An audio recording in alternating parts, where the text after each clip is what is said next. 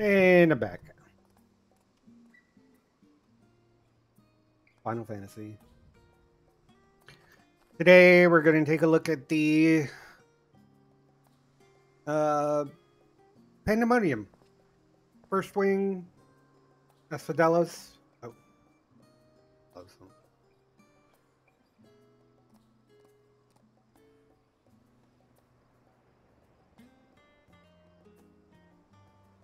We'll just leave it there. Crystal from Beyond. He appears my calculations were correct. I knew that at this very spot I would encounter none other than Amigos, the hero who saw us through the final days. So certain was I of my math that I stood here for. Well, let's not concern ourselves with that. I am Nemedjiji. Nemjiji, assistant to one Professor Claudien. We work at the with the telescope to observe the ethereal ski sea and delve into its myriad mysteries. Some mysteries, though, are beyond some of our capabilities to unravel. The strange crystal we but recently discovered, for instance, defies our every conjecture. You've been to the center of the star and you've been to the center of the star and far beyond it. However, so we hope that you may see something in this crystal that we academics do not. I beg you lend us your well-traveled eye at Aporia. Professor Claudien will be eagerly awaiting your arrival.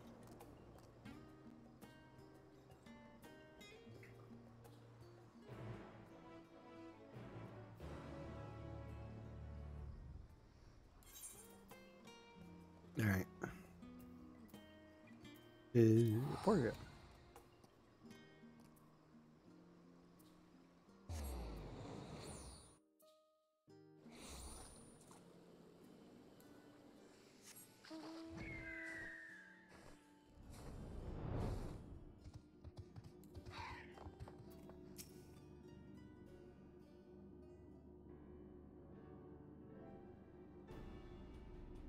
Greetings, amigos, and welcome to my humble laboratory. I am sure Nemjiji was already told you plenty about us, but allow me to introduce myself personally. I am Claudien, leader of this little research collective. You must admit I've been nervous about this meeting ever since Nemjiji set out to find you. For a researcher in my field, there's no greater honor than to meet the first man in history to traverse the ethereal sea and return to tell the tale. The professor speaks often uh, at length of your deeds, but he has no small number of achievements of his own name. He has peered deeper into the ethereal sea than any other in Sharlayan, and the breadth of the, his knowledge is peerless. Peerless, perhaps, but for a single man. We must seize this precious opportunity to learn what we can from him and perhaps crack this conundrum that has stumped the three of us for moons. It was we who peered into the fathomless sea from the Antitower in the Dravanian hinterlands. There we spoke with Hydaelyn and learned of the fate of, that would befall the Saw, the final days. Soon after, all research was moved to Labyrinthos, and through the telescope did we continue our vigil. As impressive a work as the devices, however, I can, glim- can glimpse but a fraction of the sea's infinite depths. Which brings us to the matter at hand. Not long after the Exodus was declared, we recovered an unusual crystal shard uh, during routine observation. It appeared before us suddenly as if propelled to the surface by some unknown force. We found that it possessed an ethereal density that exceeds that of normal crystals by orders of magnitude. Its shape resembles nothing which occurs in the natural world. It was made not formed. Unfortunately, that was the extent of the information we, we could glean before we, for, we were forced to turn our focus towards the Exodus. The crystal was very nearly forgotten amidst the sudden upheaval. And thanks to the efforts of a certain someone, that crisis is now behind us, and we are free to resume our research. Thus did we decide to seek you out dauntless adventurer who delved into the unknown and beheld its innermost secrets. Now we would have you see for yourself.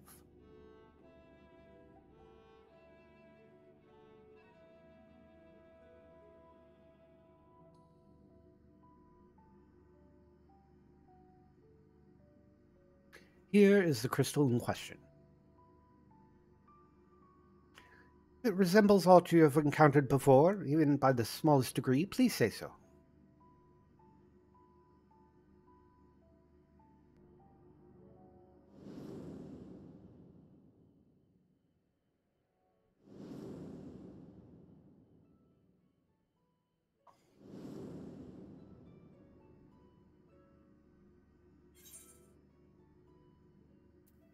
Memory abides within this crystal.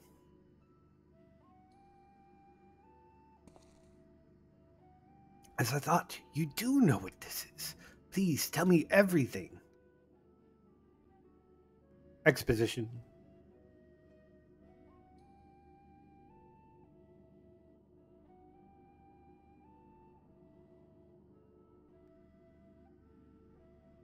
I see. The Ascians use these to transfer their memories to new vessels. Fascinating indeed. It was plain that this crystal is somehow special somehow, but this revelation surpasses even my considerable expectations. Similar artifacts were, have appeared throughout the ages, memories of martial techniques manifested in crystalline shards on the battlefield, or stored stones passed from master to student. A comparison between said artifacts and this crystal may prove a fruitful first step in unveiling its true nature. What do you think, Professor? Ascian memories, windows to which you could gaze upon the convocation of fourteen. Like the crystal in Emigos' story, this one does not bear the mark of a convocation, then who could these memories belong to? More importantly, why would, were they stored in this particular shard?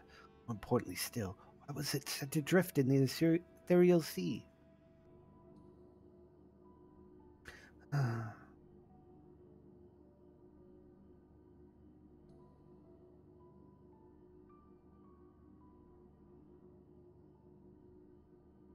Professor, Professor Claudien. Huh? Yes? I'm well aware that contemplation is the key to breakthrough, but there is proprietary uh, priority to consider. You have a guess, and one you invited explicitly. Must we do this every time?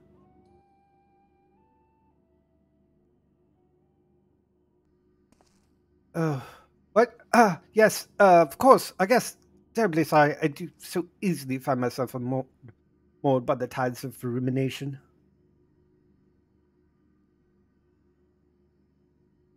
Uh, perhaps a more uh, engaging use of our time with us would be for you to take up the crystal. Indeed, there are memories stored within. They may reveal themselves to you upon contact.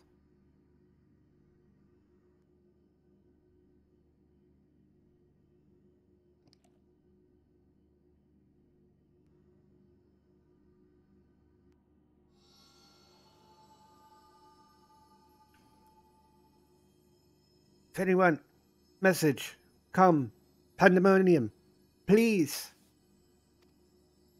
Faces, grave threat, star, in danger.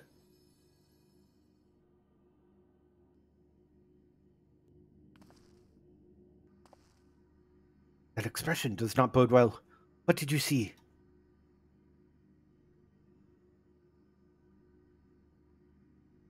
Exposition.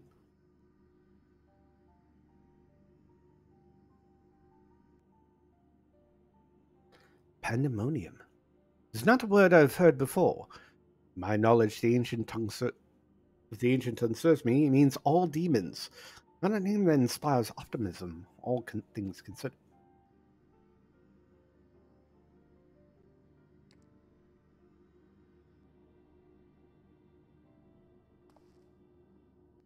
The event that another star-shattering cataclysm is in fact bearing down upon us, it would be the affirm- it would I would have the aforementioned examples of crystallized memories to hand. Nemjiji, Risinod. That I don't know. I trust the procurement to you. There are more memories to be extracted from the crystal, and we will find them. As for you, Emigos, there is a person I would have you seek. the one who has delivered so dire a warning. Your story tells us that this crystal could very well have been made by one of the ancients. If that is the case, then discerning the nature of this Pandaemonium would require a trip far into the past to an era before the Sundering. I know of only one individual capable of such feat. Very hero who traversed time to prevent the world's doom.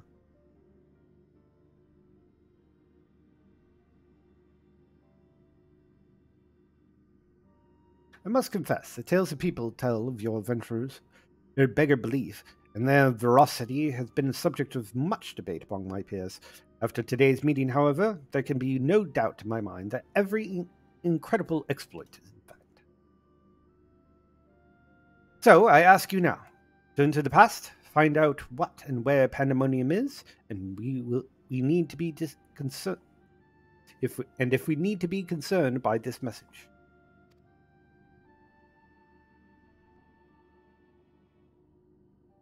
Thank you. For the time being, you should keep the crystal in your possession.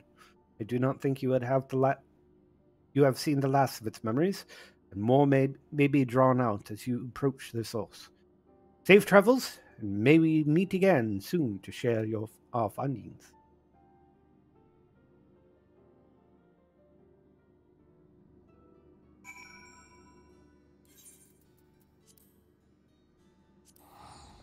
Off to the Crystarium.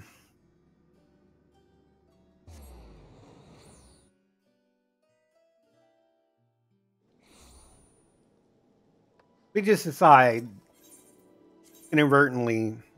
I suppose the reason we do this is because,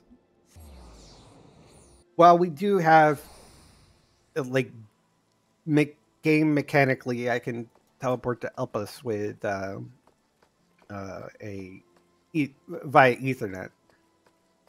In reality, I would be coming to the Crystarium using the ocular to travel back back to Elpis, and then I could use either a crystal there because time separation.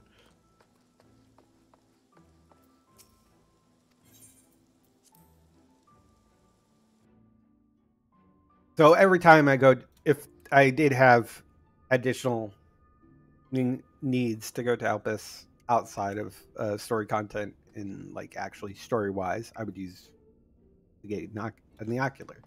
And so I went to and back in the story, so it would be the same type of thing.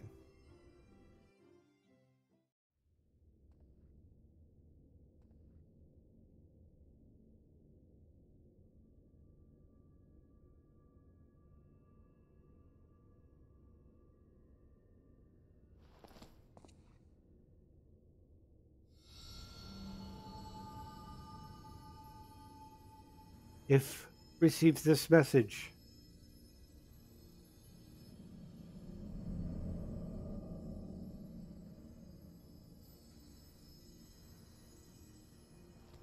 A is already attuned to the past, so.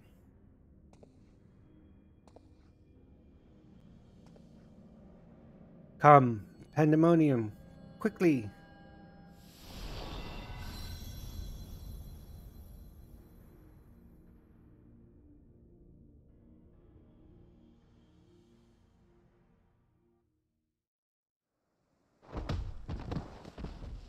Oops.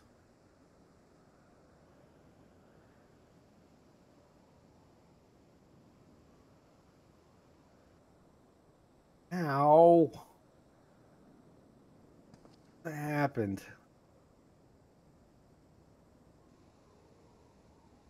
Well, I'm Elpis.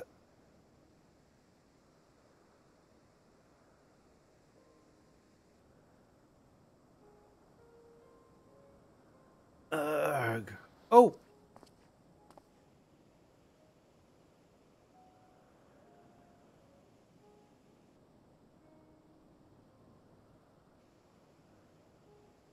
Could it be?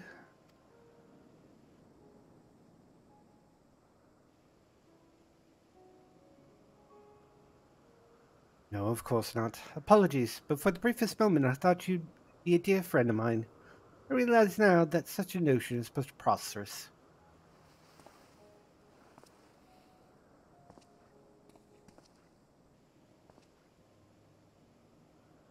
You told me a falling star would appear before me, and I suppose you must be be it. Truth be told, I didn't did not expect the expression to be so literal. Hmm?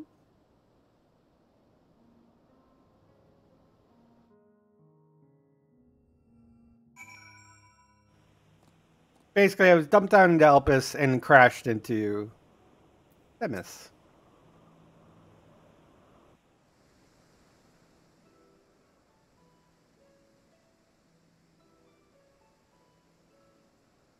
Uh, apologies for not introducing myself properly. My name is Themis. As you can see by my bare face, I am not one of Elpis' observers. Rather, I have come here on, on an assignment which has been more or less routine up until this very moment. You certainly do know how to make an entrance. I must wonder what brought you here. For it is plain that you do not belong here, or any place I know of, for that matter.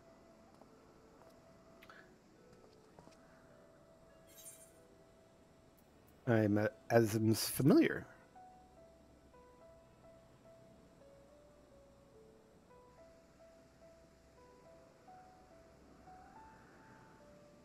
That's that's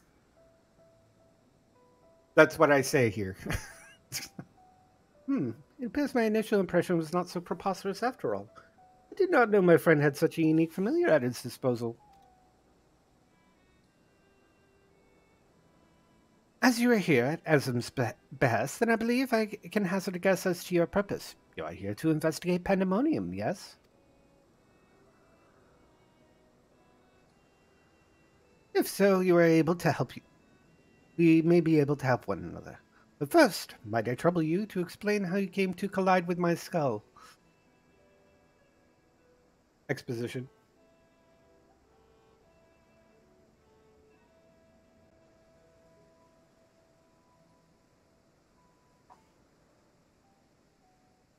Displeased? I see. I believe this dispels any major doubts I had concerning your intentions. Apologies for being so intrusive, but you must understand this is an uncommon occurrence.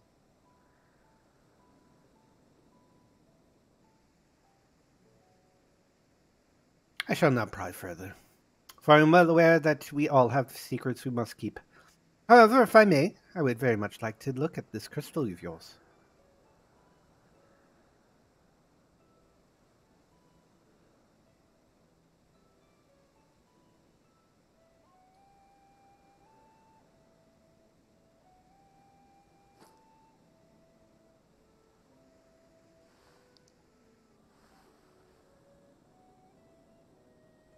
Fascinating.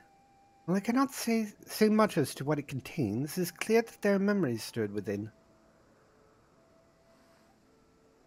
Memories that speak of something gravely amiss in Pandaemonium.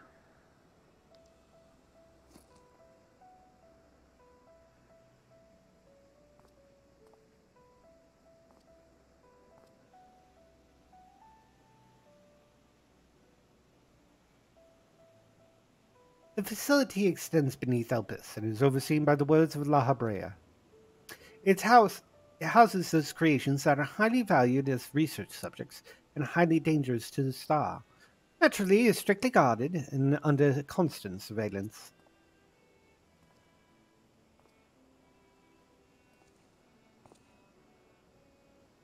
Several days ago, however, an unnatural shift in, its, in the flow of its surrounding ether was detected, Soon thereafter, all communication from Pandaemonium ceased. That's I'm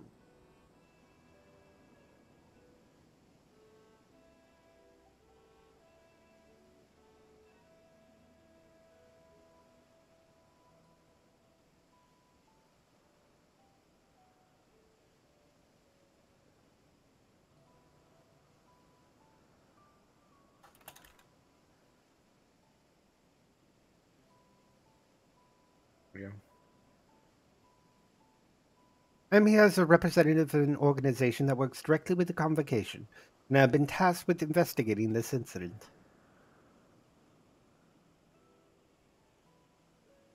Now that there is some measure of transparency between us, might I offer suggestions to what you should do next?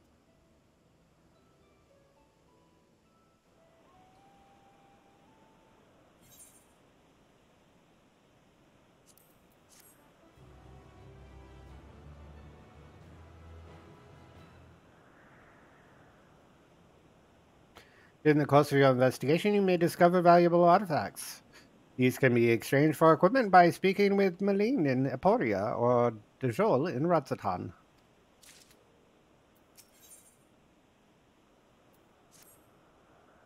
Now then, my proposal is a simple one. Let's journey into Pandaemonium together. Our destination is the same, and I suspect the arrangement would work to our mutual benefit. Besides, I should have no trouble gaining us both access. I do hope you agree. I would be loath to to part ways from the fall, from the fallen star I've been waiting so long for.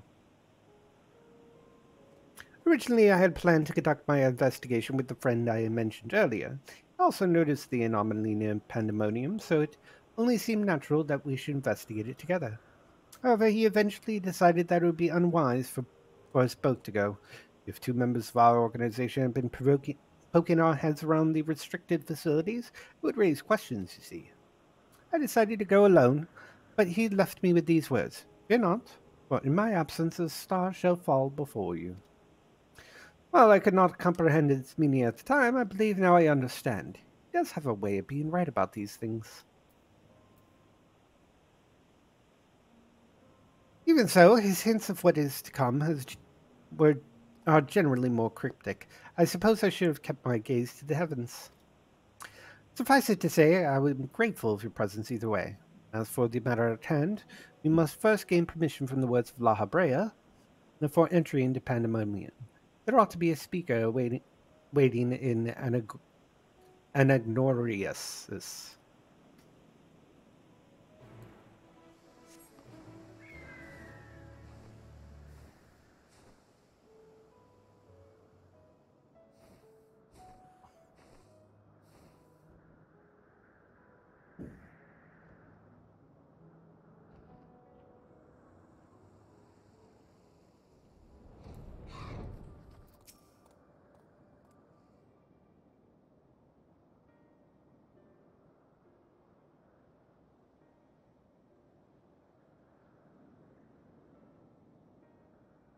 What a fascinating, is fascinating etheric signature.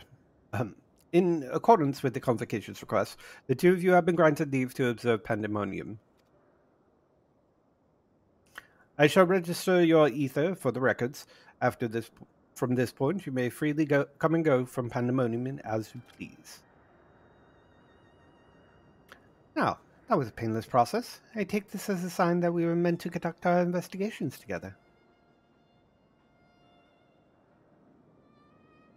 Of course, while you've been permitted entry into the facility, the specimens housed inside must be handled with the utmost care. You are to heed the warder's instructions at all times.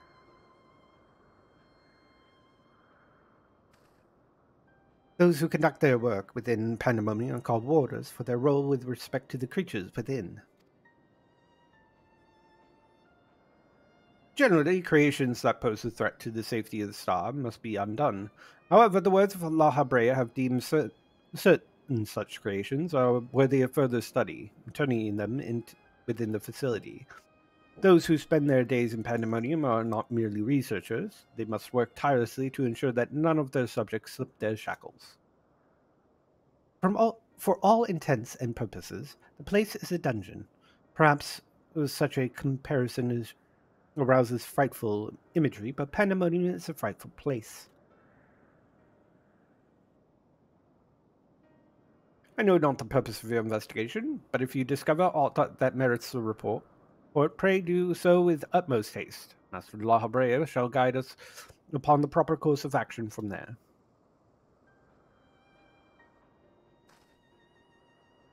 Then I take it that means you have detected nothing amiss as of late. Warders have reported nothing that could cause alarm. Minor fluctuations in ether have been observed, but surely Master Lahabrea would have acted if there was anything worthy worth worrying about. I see. It appears La is kept kept well abreast of the goings on here, then. I am um, I hope I am not overstepping my boundaries by asking, but you seem to be quite familiar with Master Lahabrea. Do you know him? Uh, I'm gonna go with the oldest stories I could tell you. I think I don't think I've selected this option.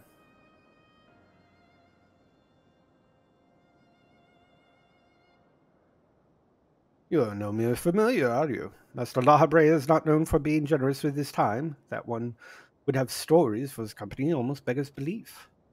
Regardless, well, I doubt I need to tell you this, This he is of the Convocation. Take care that your actions do not hinder his work. And with that, we are free to make our way to Pandaemonium. The newest, the newest, yeah, newest? I think it's the newest that will take us there is in the eastern bank of Leith. Let us delay no further.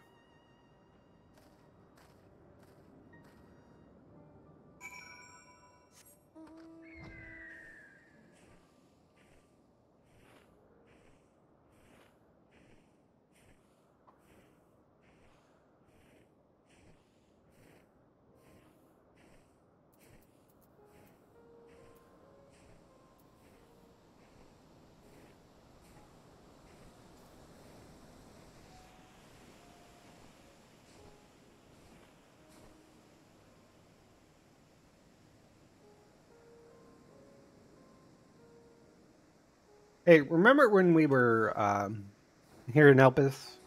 We are in this area chasing after um, Meteion. And we talked about this newest that wasn't working.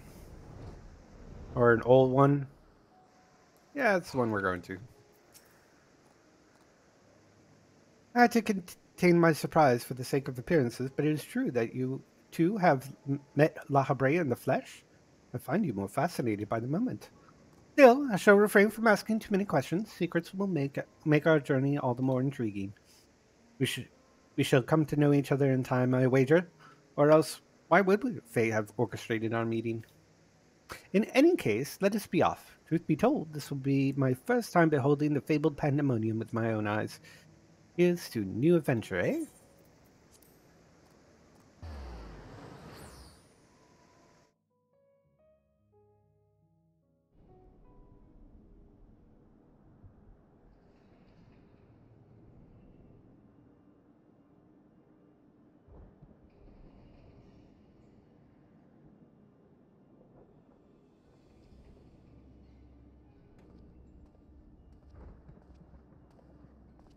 It is much as I feared. The speaker seems in such high spirits that for a moment I thought the ethereal regularity not nearly so grave a portent as I imagined. Alas, 'twas a fleeting but vain hope. Gaze upon this complex network of chains and walls, the untrained eye might not sense anything awry. No effort has been spared in making this place impregnable.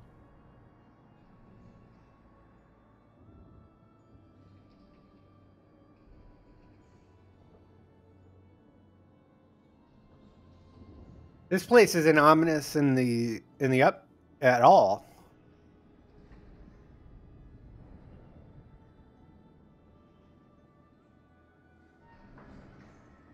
Even the finest of masterworks is not without its flaws, however.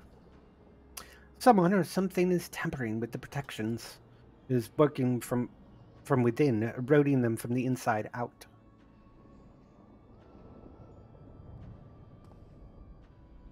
Fear not, there's no immediate danger. I reinforced what protections I could the moment we arrived.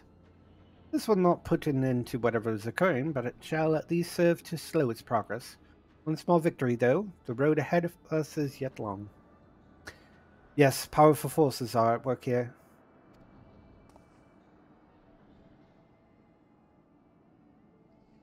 The silence in the air speaks volumes. While I did not expect a bustling facility, I see not a single warder. Our first course of action should be to seek one out, wherever they may be. However, there is something you must know. The magic I wove upon entering requires my constant awareness. That is to say, if you are forced to fight, I cannot risk joining you in battle. Should I lose focus, Pandaemonium's protections will rapidly crumble before the force assailing them.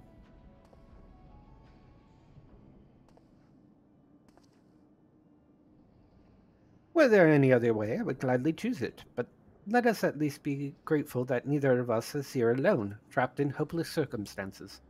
If we should fail to find a peaceful solution, then I hope I can rely on your strength to see us through it.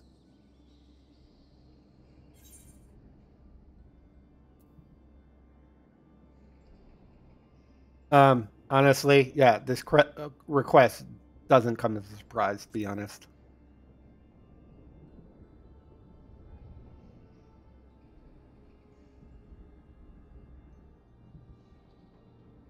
At least you received it with good humor. Rest, rest assured, I do not mean to stand by idly while you risk life and limb. I hope to be able to lend at least a touch of magical support.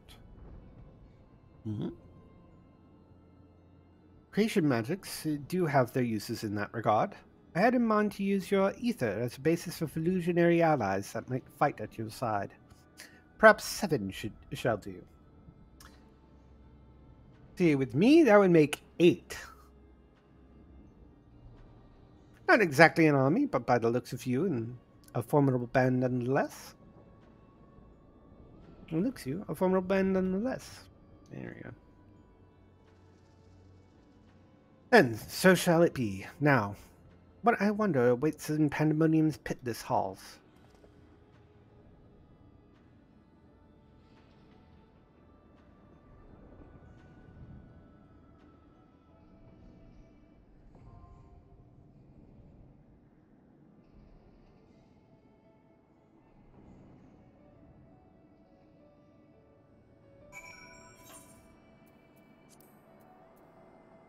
Oh, wait, this one.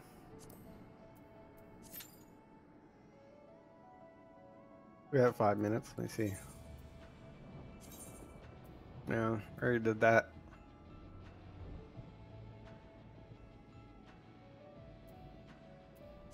But it's an average wait time of like five minutes. Hang out a little bit, but... Oh, one thing I could do. While we're waiting, we'll interrupt, but we can uh, make a quick journey to Radz-at-Han. So I entitled today's episode Raids and Roles, just for the fact that we're looking at the uh, Pandaemonium raid, as well as, hey, remember I did all those role quests? There's a follow-up request, quest to it.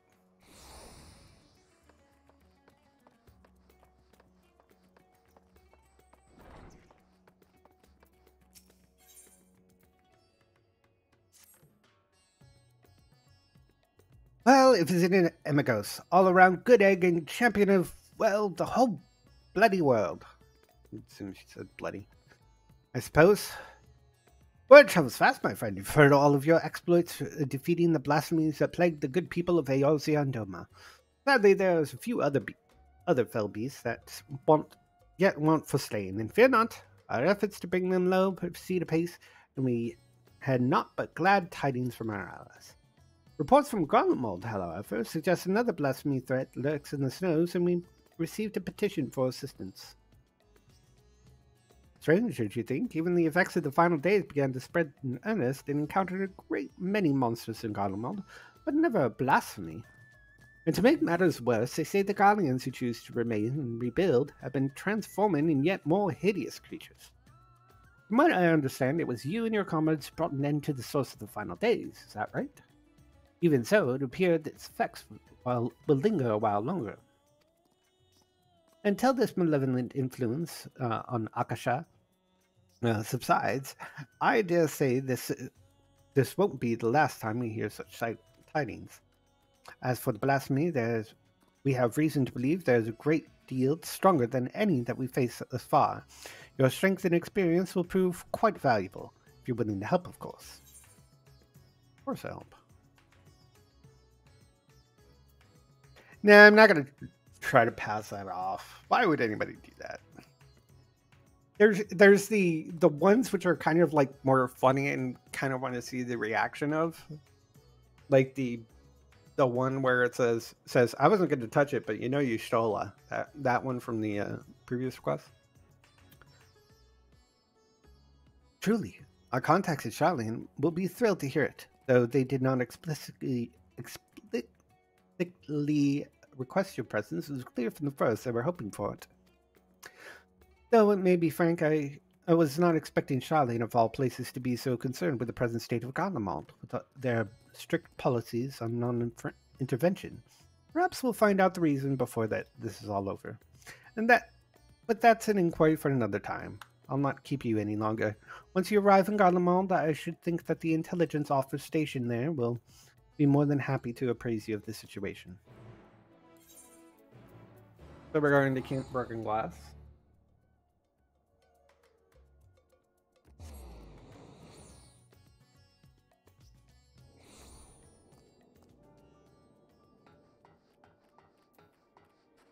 Speak with the intelligence officer. Amigos? The Amigos? It's an honor to have you with us, sir. I presume you come to assist in our hunt for the blasphemy. Maxima and Lucia will be pleased to hear if you will come this way.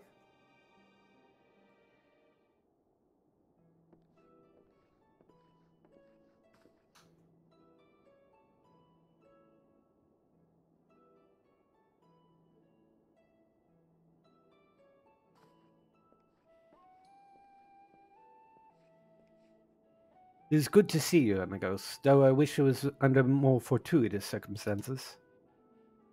We were far reluctant to call upon you, knowing that you had but recently returned from the far reaches of the heavens, but we are no less glad for your aid. Now then, I believe it's best if the man who first discovered this blasphemy explain the situation.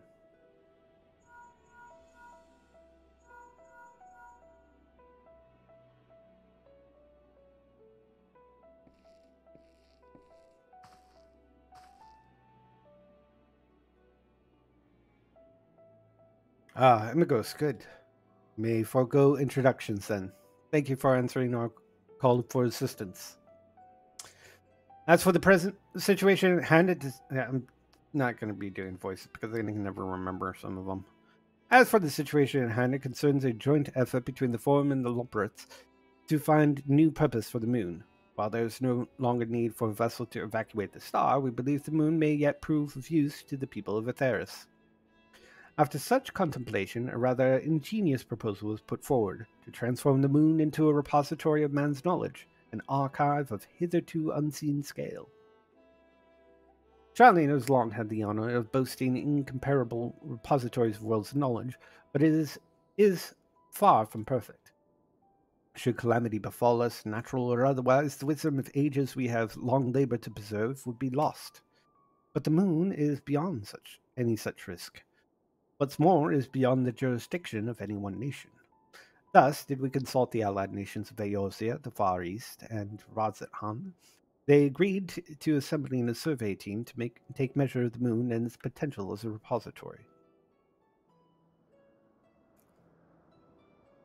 Our plans for assessment were forestalled, stalled, however, by the presence of an entity we believe to be a blasphemy in the Tower of Babel.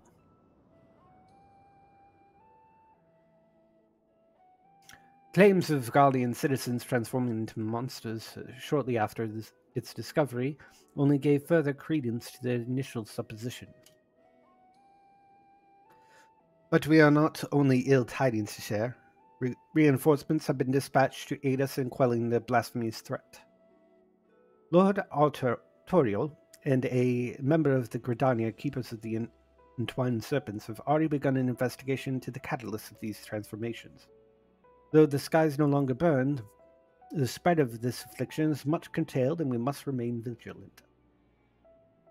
Until the blasphemy threat has been quelled, Alphinaud and Alisaie have graciously offered to help keep calm the people of uh, Tertium while we attend to the people here. But the matter of the blasphemy is not so easily resolved, I'm afraid. We re recently met with certain complications that have hindered our plans. Yugri and Fordola have presently deliberated how best to resolve the situation. Perhaps it would be best if we heard the details directly from them. I should like to join you, if I may. As this endeavor was originally undertaken by on Sharlayan's behalf, I feel it's my responsibility to see this through to the conclusion.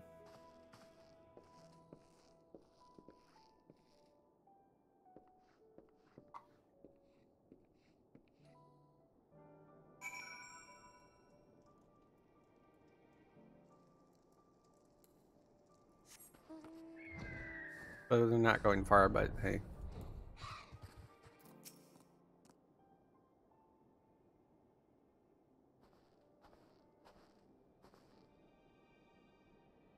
I did not expect to see you here, of all places. I am no less glad for your presence. I presume word of the blasphemy, blasphemy is what brought you here, in which case I believe it is best, it may be best if a member of the reconnaissance team, God, team's guard, explain the situation. Yeah, it's Lorenz. An acquaintance of yours? Hmm. Long time no see, Lorenz. I'm not going to call him the, uh, the captain of the company of heroes. I've heard tell you, well, they sort of bug me if I know where you, you heard my name before. Um, I'm just lowly sold for hire, hoping to fatten my purse with a touch of mercenary work after taking my leave from Limsa. The job sounded simple enough, but, well, I'm sure you wouldn't be here if it, if it were, eh? Well, we didn't come all this way to hear about me, did we? Did ye? A blasphemy we've, uh, we're after is making its nest in the upper reaches of the Tower Babel. The auxiliary sector, I believe it was. It wasn't wasn't alone. A sizable horde of beasts circling about like knights protecting the queen. Naturally, we thought to strike from a distance before engaging in earnest, but not a single bullet reached its mark. They're protected by some manner of mystical shroud, as far as I can figure. Without a keen, keen eye for magic, I don't see anyone getting through. By the time we understood the futility of the situation, we'd been spotted. Retreat was our only option. Pains me to say, this, there won't, won't be any brute forcing our way through this brute forcing our way through this one. My understanding was that once transformed, these blasphemies were were completely devoid of ether. With what energies could it create such a barrier? That's the question, isn't it? My first, the first thought was some hitherto unknown uh, technique for countering shields. Never, needless to say, it's out of my depth when it comes to mass magic, which is precisely why I plan to seek, speak with the Elder Cecil when she arrives. If anyone can help us find a way to overcome the blasphemy's protections, it's her. And we're going to go into Asphodelos, so we'll get back to this later. In the meantime, could you trouble you to help with the so-called matter of people changing the base? Blasphemy's horde is large enough when first we found it. Can't afford to be more to join its ranks. And here we go. Into the first circle is Asphodelos.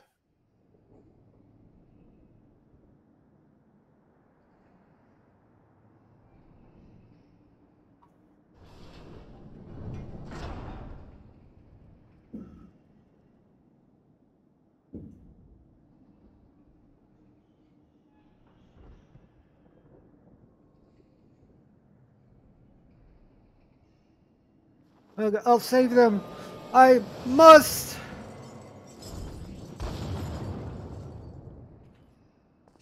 It appears to be one of the waters we seek, and I'm afraid he's in no state to answer question. Perhaps you could take care of this? It's a cut thing bef uh, before a raid, so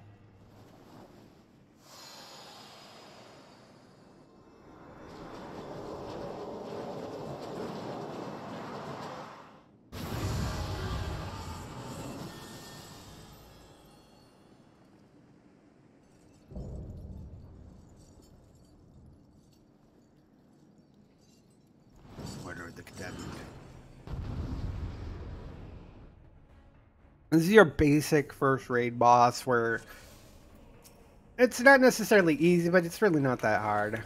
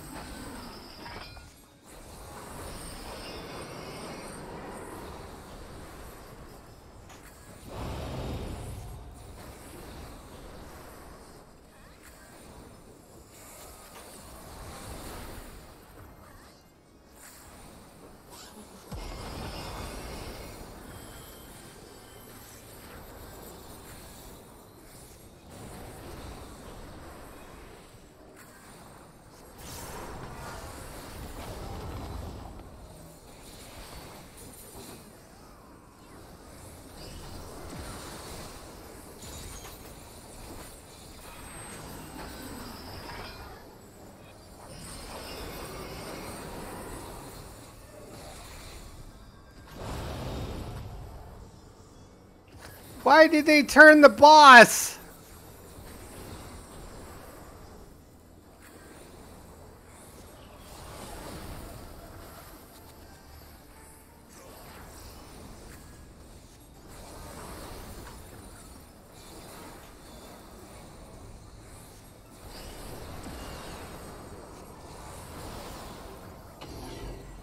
Um,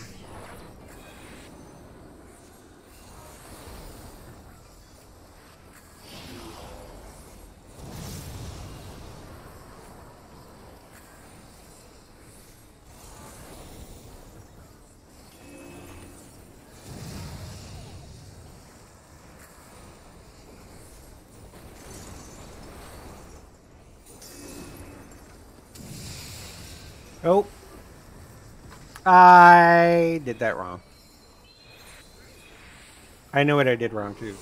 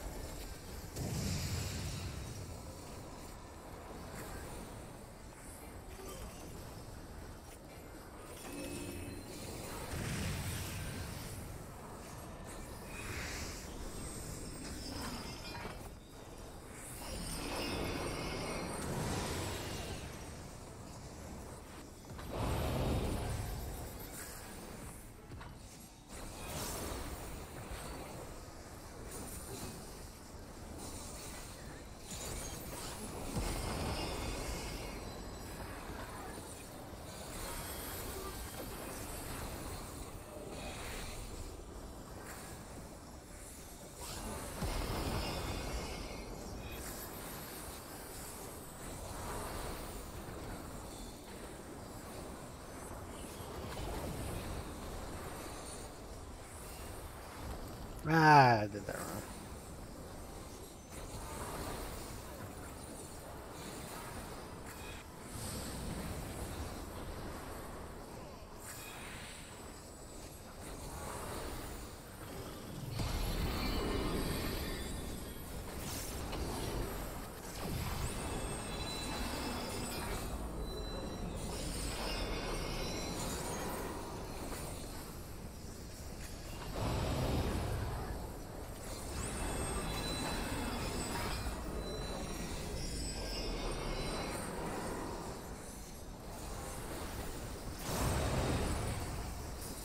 Uh, I did that wrong too.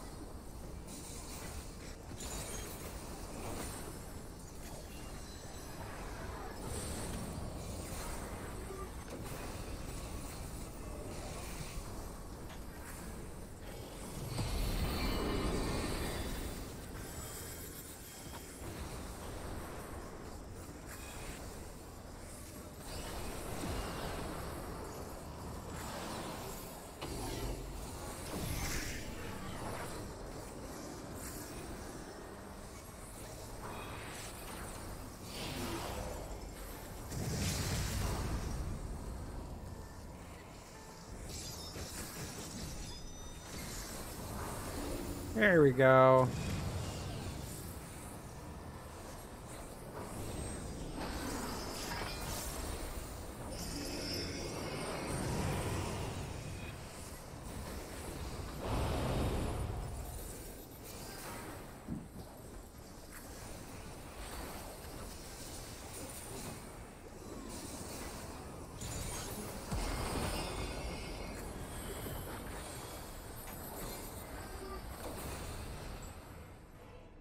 Didn't do my full melee combo, but almost ended.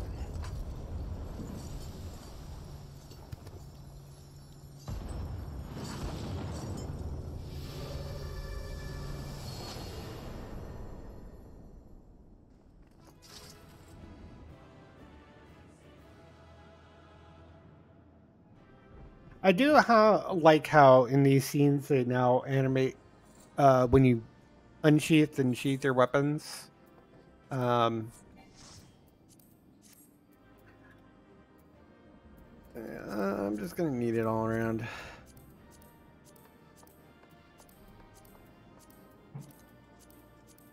It kind of doesn't matter nowadays. Alright, I didn't get anything. That is okay. Got four more of these. Or three more of these.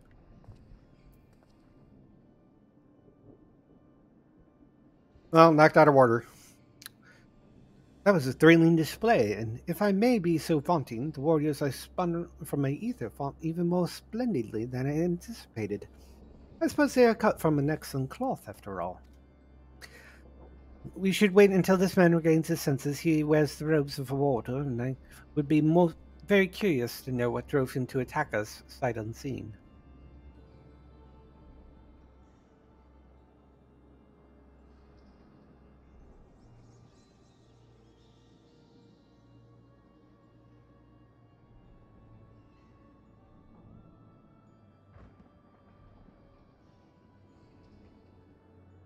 Emma goes, he stares.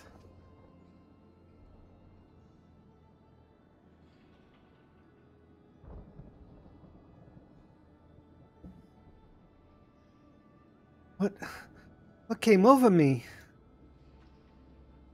It it's coming back to me now. My mind was filled with a storm of desperation, anger. leapt at you, though I knew not of your intentions. Pray accept my apologies and for my thanks. Had you not knocked some sense back into me, I may have fallen upon someone someone less capable of defending themselves. I am Erichthonios, a warder of Asphodelos, Pandaemonium's highest layer in the place we're in now. One must wonder why you are so des wonder why you were so desperate to keep us out. What is happening in Pandemonium? The creations interred within Asphodelos have been set free and stalk its halls to no end but violence. That is not good, to say the least. Has this ever happened before? Oh, no, never. Each level of Pandaemonium is under the charge of a keyboard, one who keeps strict control over the most minute aspects of their domain. They are selected with great care, and their loyalty to Master Lahabrea is absolute. Yet something has gone terribly wrong. Try as we might to hold the line, the chaos within is overwhelming. Hardly realized that I had been sep- become separated with my colleagues. I remember a chorus of whispers assailing my senses, and afterwards only flashes of rage and fury. Blackness, in which I awoke to find to find that which whatever has overcome me was gone. see, since this may have been muddled by magics that affect the mind, perhaps the self-same ones that saw you separated from the other warders.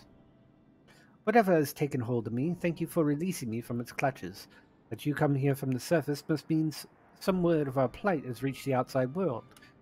If you know anything that may help, pray tell.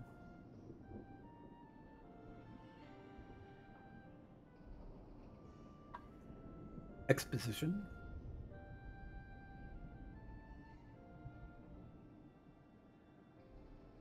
Horror among horrors, so Pandaemonium's protections were indeed being dismantled from within. By the same individual or individuals that released his, his captives and set them upon you, no doubt. Such knowledge avails us little, however, if we cannot ascertain their identity.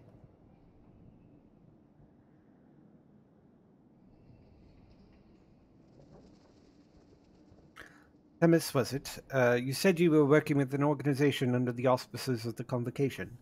Were they, were they to receive word of what has transpired here, what measures would they take?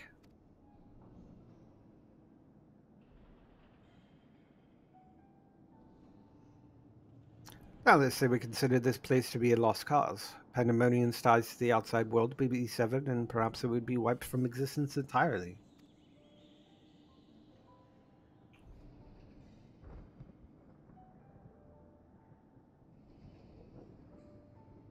As I thought. For the creatures to escape into the outside world, there would be untold carnage. The words of Lahabrea would never risk that, despite what value the research subjects may hold. All the more reason to work with haste. If we can't ex expect further help, then it falls upon me to save the others, and not leave them behind. You would go alone? I won't leave the other warders to face certain doom. I know they fight for survival even now. They wouldn't abandon their duty. They would see the creatures return to their cells at all costs. And so I must do the same, Themis. I know the request I'm about to make to you is monumental, and please, say a word of this to Convocation until I've given a chance to set things right.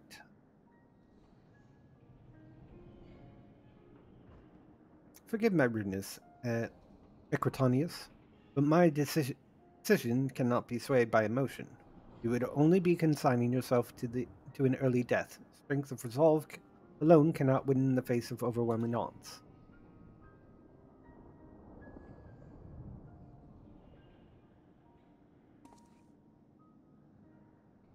That being said, our investigation has only just begun, and we would be remiss to turn back ere we made an exhaustive survey. So, for the time being, there's slightly more than resolve to rely upon.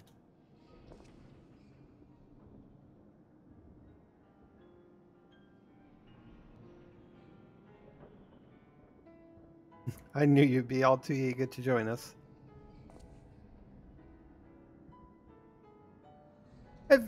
Each moment since you fell from the skies has been more interesting than the last. More and more you remind me of my dear friend. Which goes some way towards encouraging me that this matter will yet reach a satisfactory conclusion.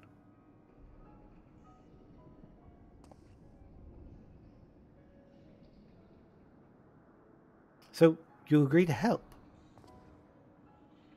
For the moment, our goals align.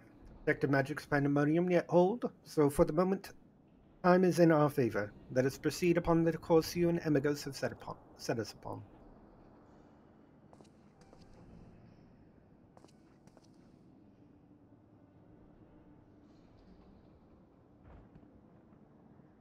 And Amigos, yes? Thank you. The Warders owe you a great debt already.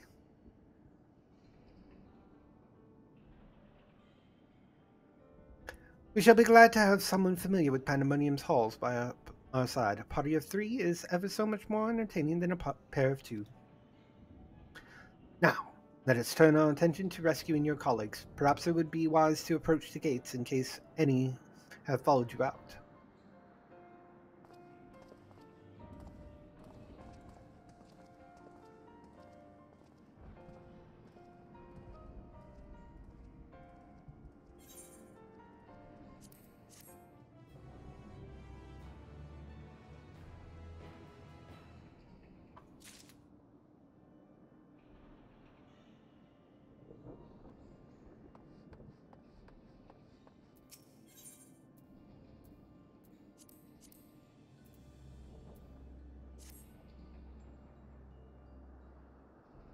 Gonna just call him Eric.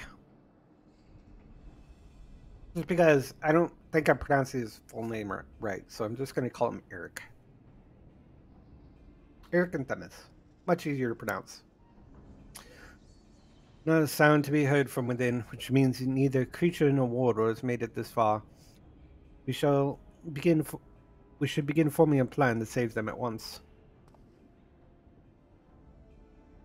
Forgive me if I misunderstand, but do you mean to rescue the warders and creations both? Naturally. Although they may be dangerous, they're valuable research subjects. I wouldn't see our labor wouldn't see our labor uh, our untold hours of study go to waste. I dare say Lahabrea would smile to you say, say such a thing. That is, if we had cause to report this incident to him.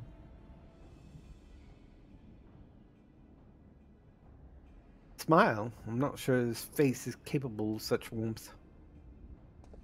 Hmm? Ah, so you have met him before. I'm under the impression he rarely visited Pandaemonium.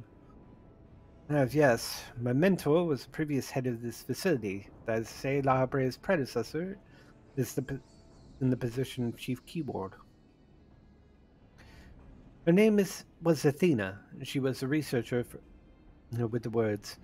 Thus, she that she who appointed me to this position. In fact, I see. I did not know there was a chief keyword before Lahabrea. Your motivation to save your research su subjects is not entirely driven by duty to the words. Then, you wish only to preserve the work of your mentor. You've the right of it. I'm lacking the skills and how to go about that, however a mere warder and cannot yield internment magics. Ah, but of course I can hardly expect you to be versed in the magics we use here. If you recall during our battle earlier, I bound you in ethereal shackles. The internment is more refined and powerful magics, uh, based upon the same principles. While both are used to keep our subjects docile, under the keyword of each tier is permitted to use internment. Only the keyword of each is permitted to use internment. Even if I were allowed, I'd lack the aptitude to use the spell in any notable, notable effect. Fascinating. There's some knowledge of these forms of spellcraft, actually. Lahabrea himself established their foundation, if I recall. While shackles are meant to bind an object in place for a short time, internment freezes the very space around it for as long as the caster wills. Indeed. While the illusionary, the illusionary beings you summoned are, in our fight suggested as much. I see your knowledge of magic is vast. Perhaps you already mastered the art of internment, and I've been lecturing you like a child all this time. I'm afraid my knowledge ends there. I am not the precise understanding of how the invocation interacts with natural laws that would be needed to cast said spells with any consistency. While I consider myself well versed in various magics, it would be ill advised to assume the duties of keyword without instruction. That said, if I were to learn more of internment and inner workings, perhaps.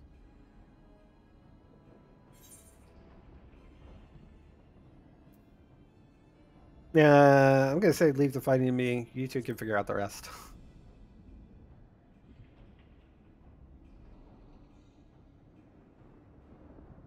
hmm, I dare say we can do just that. Eric, just shortening his name. You you implied that that what prevented you from performing the internment was lack of magical capacity. What if I supplemented your power with my own? Would this spell succeed then? I I can't say for certain. Never heard of such a thing being done. I believe it may be our best recourse. That is, of course, assuming you can perform the initial rites and incantations flawlessly. Even the smallest misstep, and, and we would have to start over.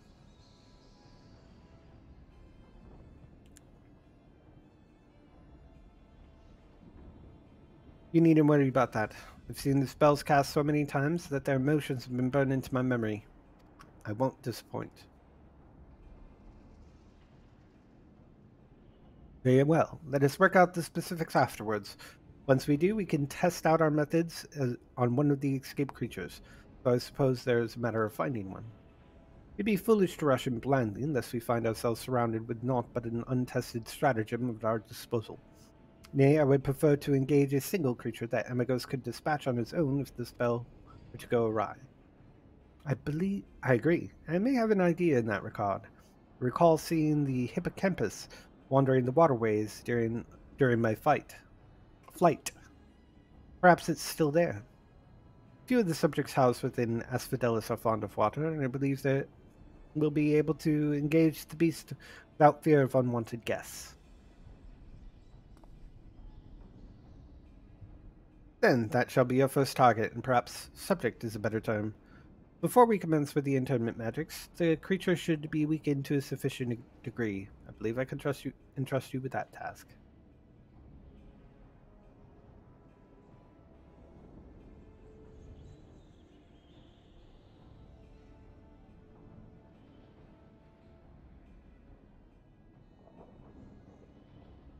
Doing your thing. As dependable as ever. Once you have you have given it a thorough trancing, we shall bind this hippocampus with the keyboard's magic. Until then, my illusion shall fight by your side. The hippocampus will be alone, but it's a daunting opponent nonetheless. Its magic warps the environment around it and can be at home amidst the waterways. Steel yourself for a fight.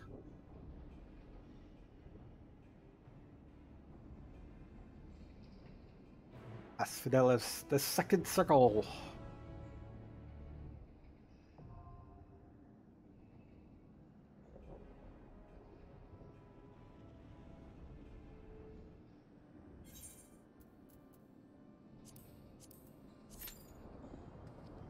Less than five minutes. Uh, but let's go check back on Camp Broken Glass and see if we can pick up where that left off while we while we're waiting. Still gonna be down, some downtime, and I want to fill in. Right. We'll skip through it. We'll try to find where we picked up on the dialogue here.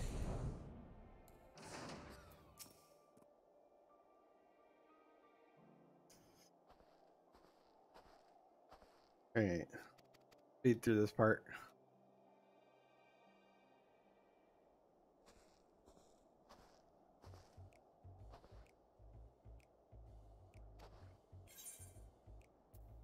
Uh, let's see what he what happens when I say, "Aren't you the the captain of the company of heroes?" Ooh, me? Heavens no. Just a lonely sword for hire, hoping to fatten his purse, blah blah blah blah. It's basically the same thing. I reckon you sooner find misread tre treasure than the company's heroes, Captain, and neither have reason to make themselves known, lad. Anyways. Back to the sort of thing.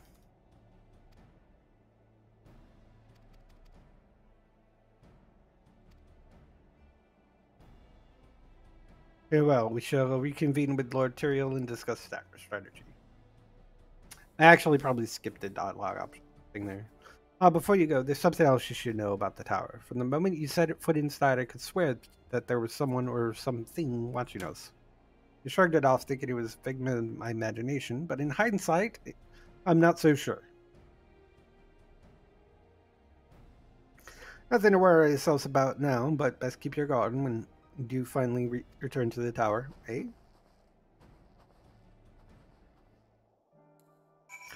So we're basically in the point where we're basically meeting all the people that we met in the role quests.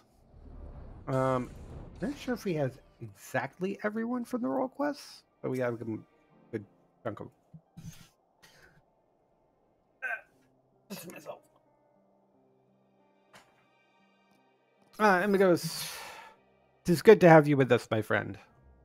Indeed, the road before us is not an easy one, and men, and a man of my talents will prove invaluable in our, your talents will be prove invaluable in our efforts. We but recently returned from reconnaissance with it, wherein we made a few rather surprising discoveries. First and foremost, we were pleased to discover that no one residing within Camp Broken Glass or uh, have turned, no doubt thanks to the concerted efforts of Maxima, Alphinaud, and Alisaie. However, we have reason to believe that those who did turn all hail from Locus Amenius. I mean Kovos, the Guardian's ancestral home? The very same. When the ill effects of the final days began to manifest there, a number of Guardian refugees from the region sought sanctuary in Garlemald. But the capital was already in ruins when they arrived. They were offered asylum, but many refused and instead chose to fend for themselves on the outskirts of the city. We have a mind to go and speak with them directly if you uh, care to join us. Perhaps uh, together we can learn what their recent uh, circumstances have triggered such terrible change among their people. Time being of essence, I believe it prudent we split into two groups and cover as much ground as we can as quickly as possible. If you and Ma- Master Fortuno no, would uh, inquire with the people people have Victor spoils the two of us. We'll see what we can learn from Liminal Station Five when you you're finished. Uh, when you're finished, pray meet us there. Or four. Liminal Station Four. IV, not not just V. Victor spoils is to the east of here. Yes, let us be off.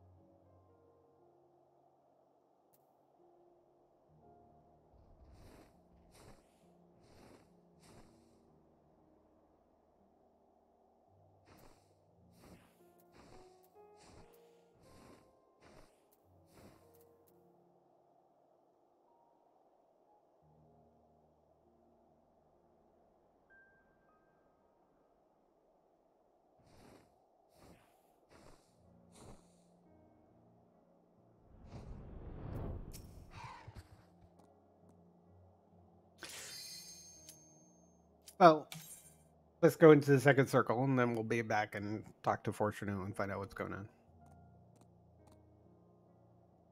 This is what normal player does. They fill in their time by doing other things while they wait for their key to pop.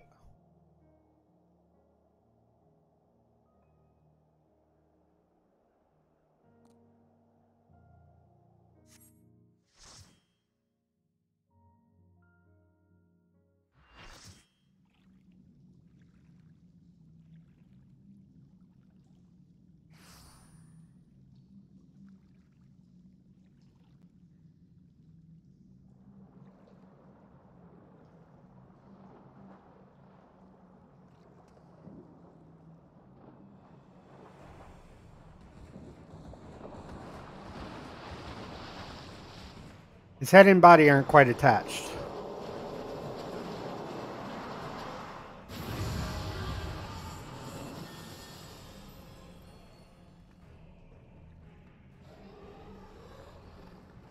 Still no other Hrothgar.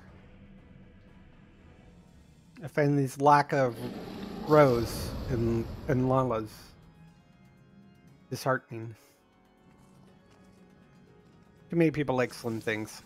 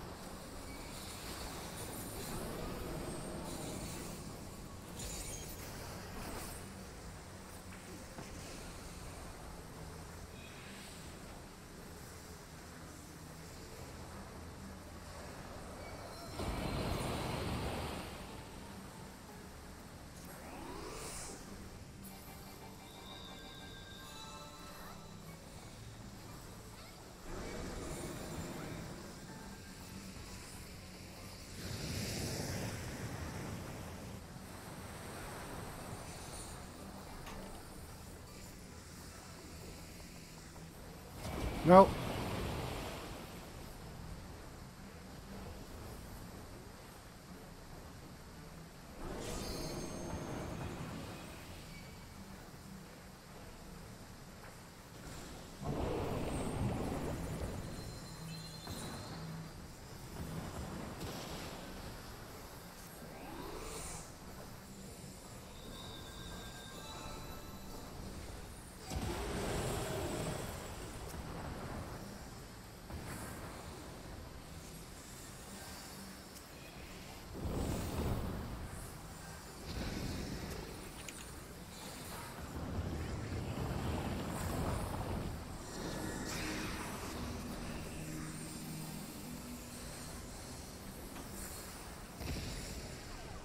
God damn it.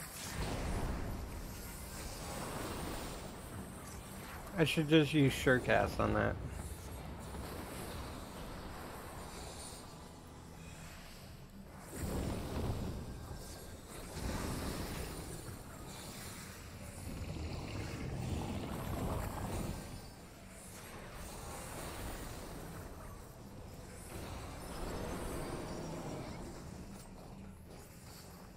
Ah, crap.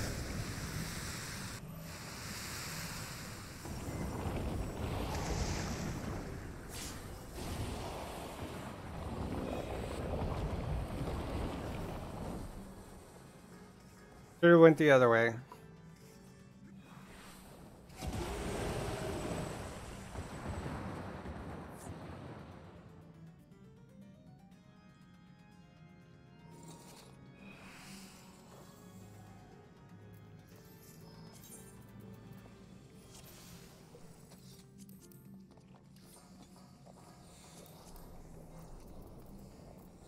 Myself a little blue buff.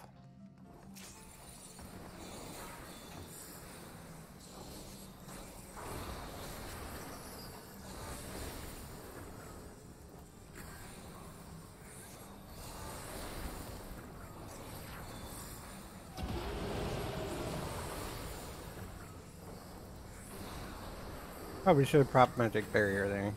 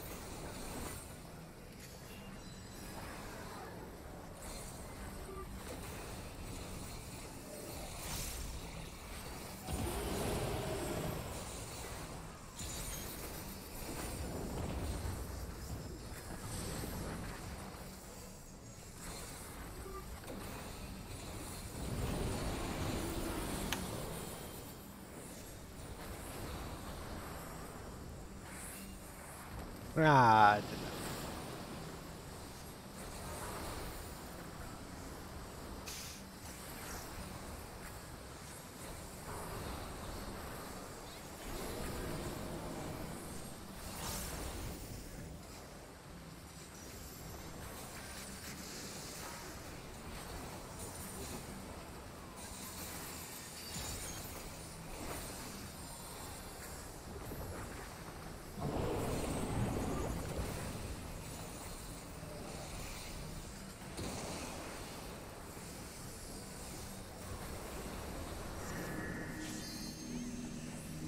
Oh, actually.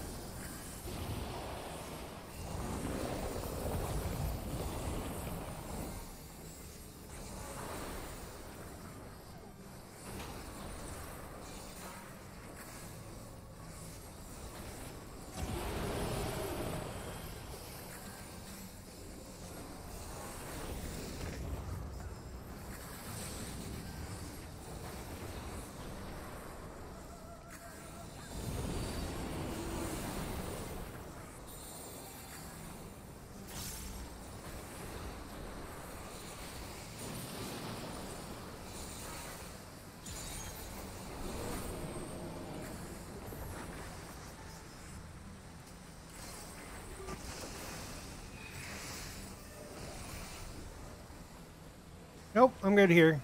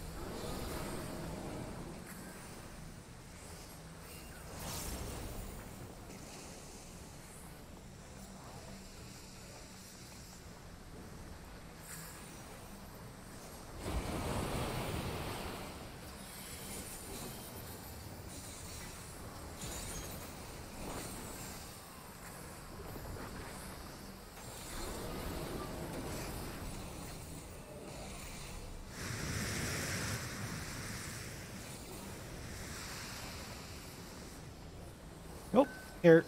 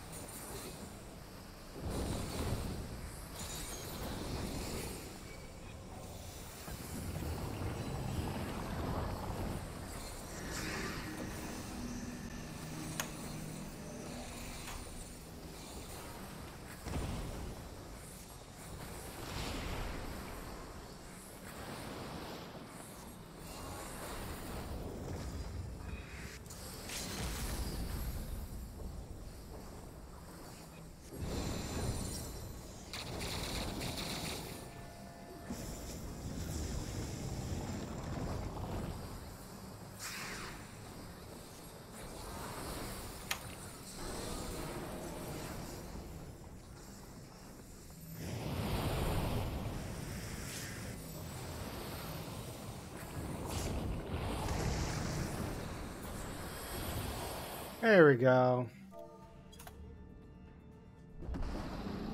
And Check that out. I stole the LB3.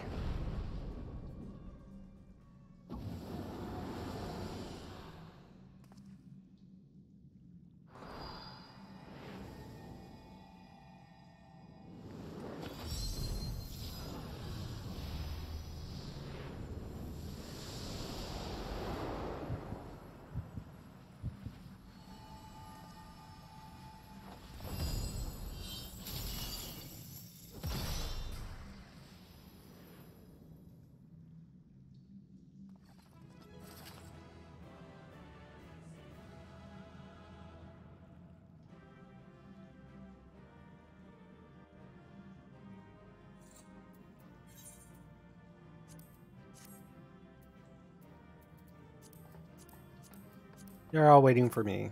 Because everybody else has done this like a long time ago. I'm like rolling crap on this. I'm getting nothing.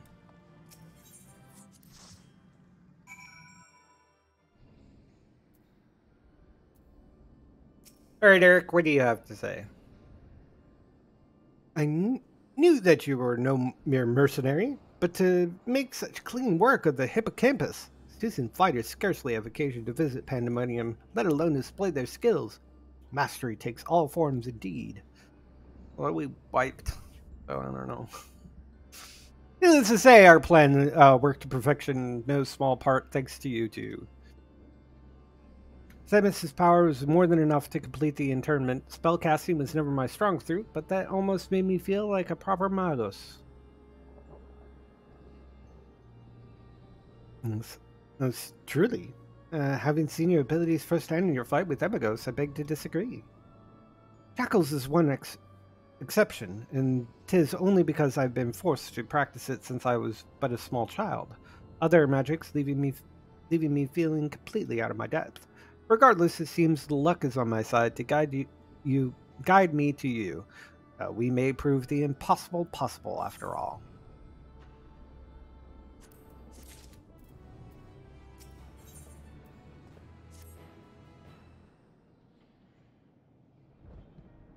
I going to get at least one piece of those artifacts to, to, get a piece of gear? Well, success is the only way the hippocampus is, is certainly heartening. In fact, we have yet to see any other warders concerns me. The key ward of Asphodelos is nothing if not cautious. Doubtless he has gathered what warders he could and retreated to a safe area. Let us hope so. It occurs to me that I know little of the keywards besides their magical prowess there aren't more you can share.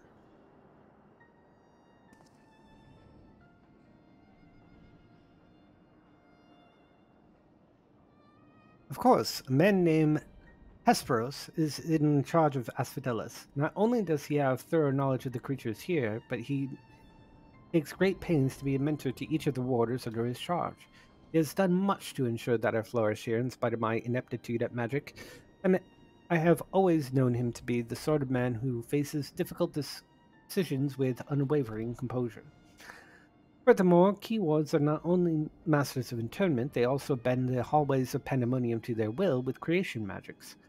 With all this in mind, I am certain that so long as Hesperos guides them, the other warders are safe.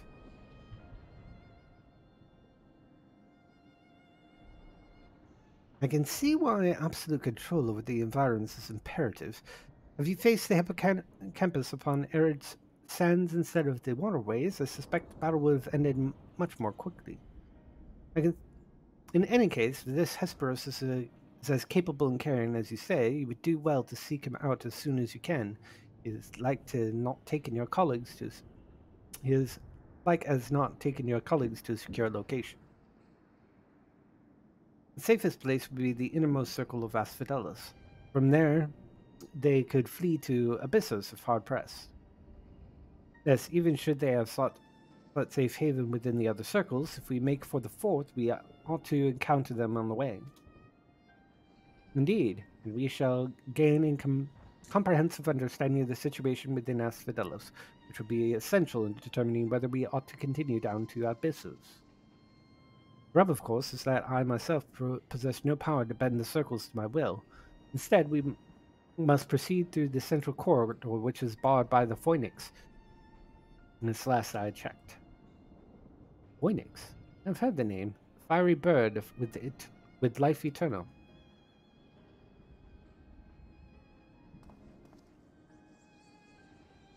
Beyond unquenchable brilliance, the perfected co concept boasts nine boundless restorative powers, if I recall.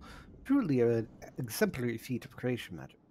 Perfection is ever built on the back of failure, however, and Lahabrea suffered countless missteps during his experiments. And he he can hardly and he was hardly the only one. This phoenix will be be but one of many attempts at the concept gone awry. Aye, far from evoking wonder, our phoenix is a creature of fury and wrath, and seeks only to turn the world to ash. Thus was it confined in pandaemonium. Well, maybe the concept continued elsewhere, but as the moons turned, more and more researchers abandoned the project as an impossibility, save for Lahabrea and his words. When I recently received word that at long last La had succeeded where so many others had failed, I was nearly overcome. Pray tell, how did the Waters of Pandaemonium celebrate this mas their master's achievements? I don't believe we did. The research of the words of Lahabrea was little consequence to our work here, save for their spare times it char charges us with a new specimen.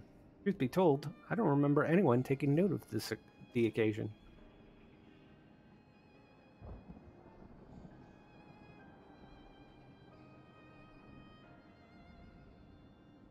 But enough reminiscing. We must make ready to confront the Phoenix. Well, it's possible that it flew off in some other wing of Pandaemonium. We would we would make that assumption in our own peril. Better to assume we'll need to bring Asphodelos' most unruly subject to heel. Certainly see no reason to delay. The Phoenix power over flame will avail it far less in a barren corridor barren than elsewhere, so it may will serve us to sub subdue it sooner rather than later. Yes, I can battle the Phoenix. I mean, Phoenix.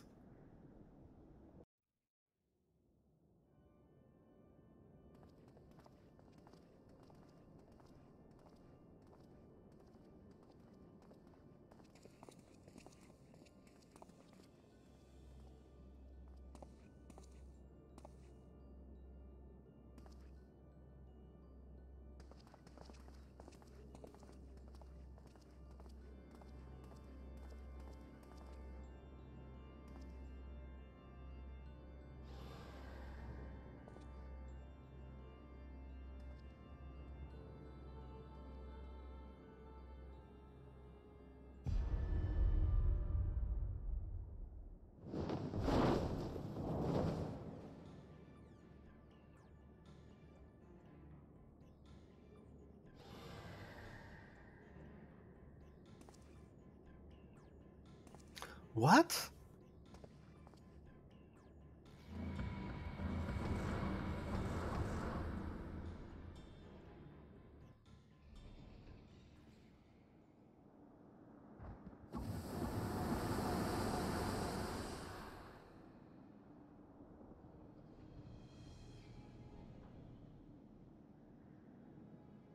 It seems whoever is behind this can alter the space around us as well.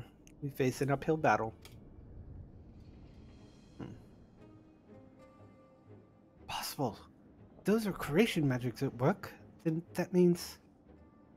Let us confront that reality after we have conquered the enemy in front of us. Every drop of our focus must be required if we are to enter the Phoenix.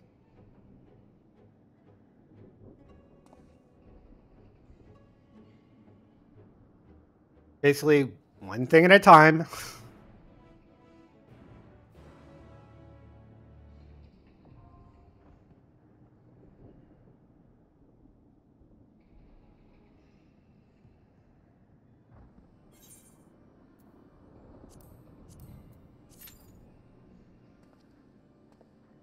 Oh, this is 10 minutes. Wow.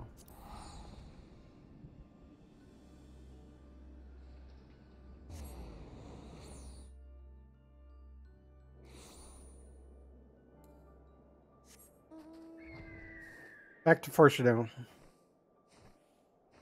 The role this role quest line is longer than the uh, quest line.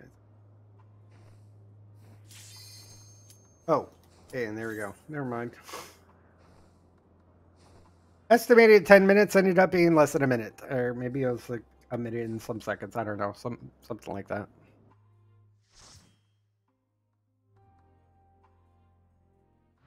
refresh my beverage after this. Yeah, you thought everything was going to be black and dark, right?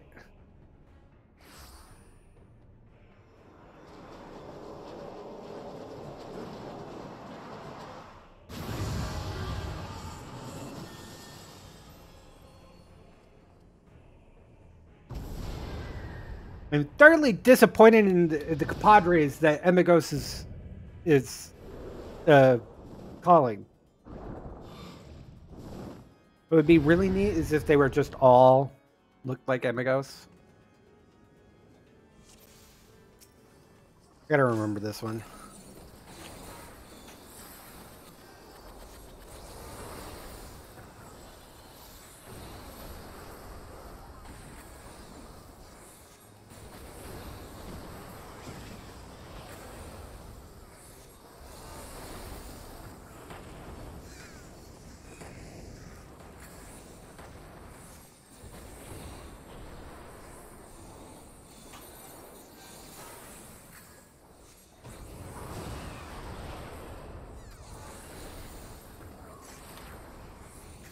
Ah, crap. Keep forgetting about that. I, I need to do these more options and I'll actually learn. Need more practice, basically.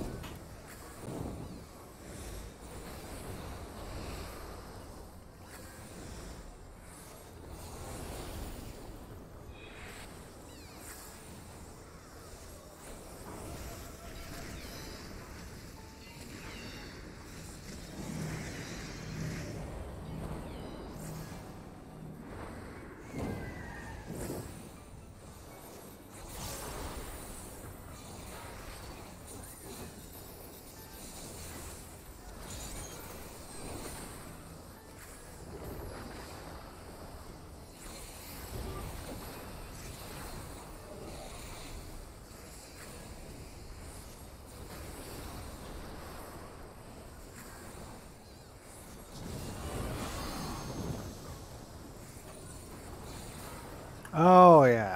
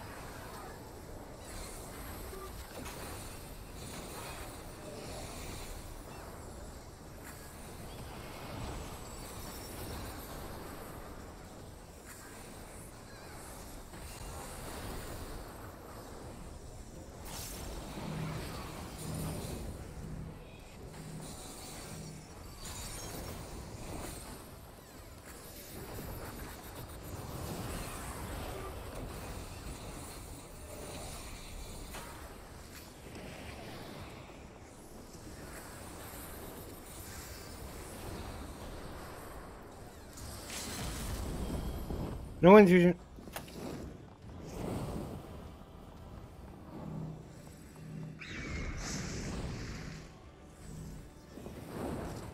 See if somebody else uses it now that they they see me and they.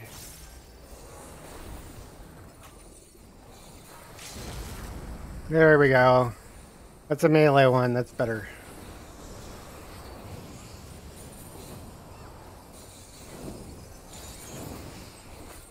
One and done. Good job.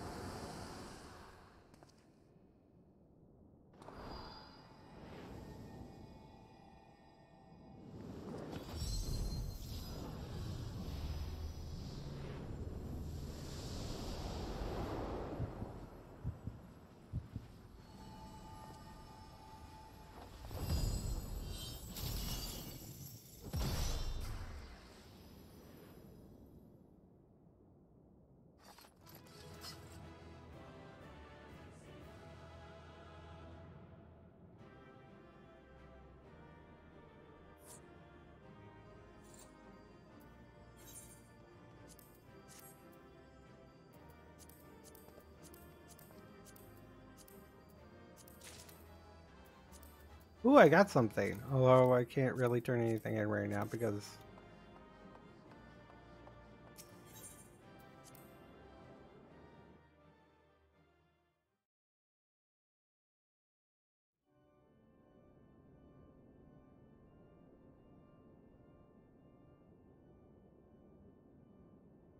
The Phoenix is shackled once more. However, there is yet the matter of this arena.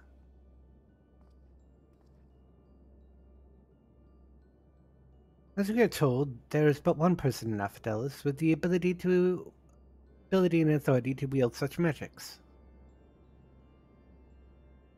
Though fortunately, it appears he has saved us the trouble of finding him.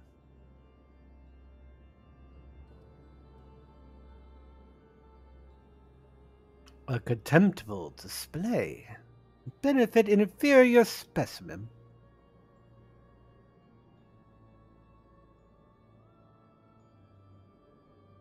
Even so, I expected it would be at least it would at least delay your advance. Imagine my surprise when I saw the chains of a turban drag the phoenix back to its cage. Either the bird is even more of a failure than its creators care to admit, we are no mere trespassers.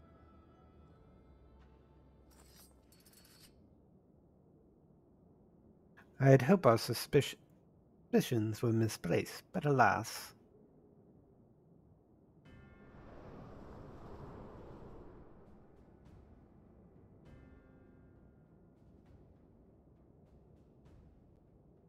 Keyward Hesperos, why? Why have you brought such chaos to our beloved Pandaemonium? Pandaemonium, pitiless, was impenetrable and utterly steadfast, unlike those charged with its keeping. What has possessed you? I don't understand. Oh, Eric, must you pester me with these inane questions? Uh, think for yourself. Surely you can muster a theory or two from that dim wit of yours. Then again, you have never been one for insight. My master Lahabrea's suffers at your mediocrity I shall never understand.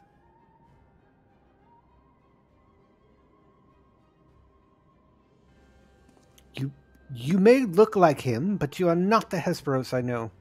Something has warped you too, from the inside out. The keyward I knew was had passion for all those under his charge, be they clad in robes or shackled in chains. Was that all a farce? Did you hide your contempt for for us all those years? Those who are content to merely glimpse the water's surface are doomed to be dragged into her steps. You prove my opinion of you with every word. My mind is clearer than it's ever been. Even now, seeing you feebly grasp for answers makes the bile rise in my throat. Such wasted potential to be son to Lahabrea, yet no more skilled with magic than a newborn babe.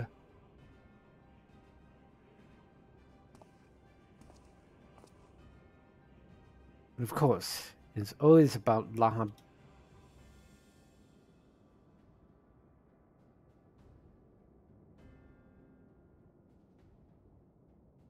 Silence! You are not worthy to utter his name. For once, be grateful to witness a feat beyond your meager capabilities, beyond your shallow reckoning. I have spilt the surly bounds of mortality. I have, have become one with our mist, become one with our mystic creations, and rid myself of imperfections. I stand upon the threshold of godhood. As a Hemith- Hemitheos shall I serve Master Lahabrea ever faithful at the end of my days, end of days.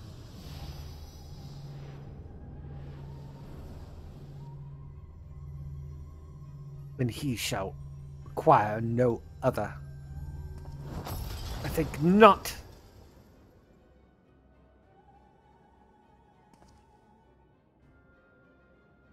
Are you so blinded by arrogance that you have lost sight of what it means to serve? Eric is more capable than you could ever know. It was thanks to his instruction I was able to master the arts of internment. Both how to wield it, how to break free of it.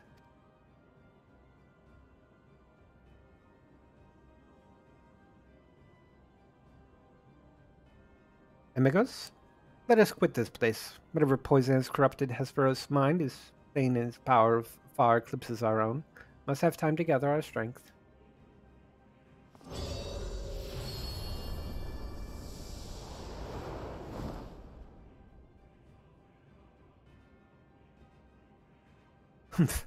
Weaklings. So they may be, it seems this singular aptitude to master internment so quickly saying nothing how swiftly that familiar lay low the phoenix. Regardless, their noble aims will be their undoing. Where they fritter away their strength is calming the beasts of Asphodelos. I continue my work. Even should they survive long enough to reach the heart of my domain, naught shall await them but doom. I eagerly await your arrival, Eric. Even dullards have their uses.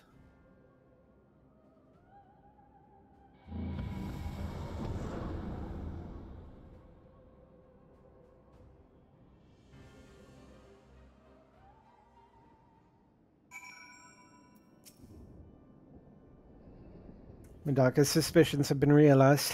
We face the keyward of Asphodelos himself. More than that revelation, however, Eric worries me. He loved Hesperos for his compassion, but received naught but scorn from whatever the keyward has become. He has said little since our return, and we hope that the shock of recent events does not prove to be a death knell for his resolve.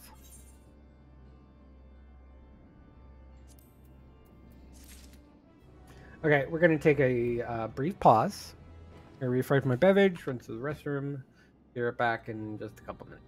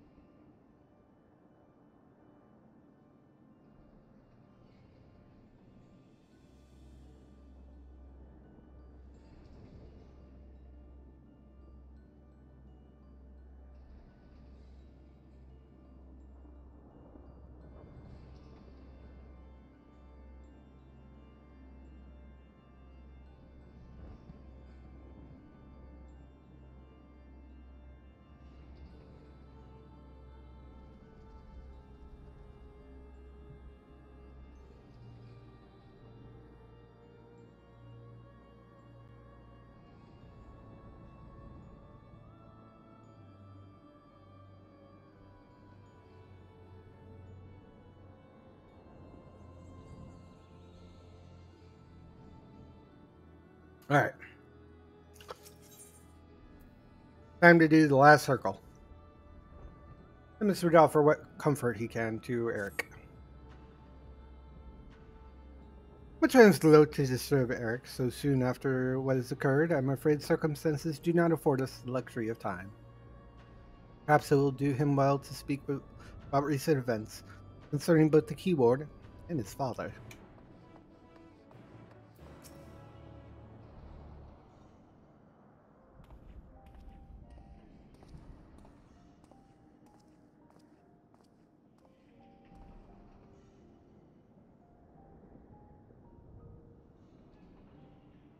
The creation of the world was, mm, which surrounds Pandaemonium, was an astonishing feat of magical prowess, feat accomplished by none other than Lahabrea.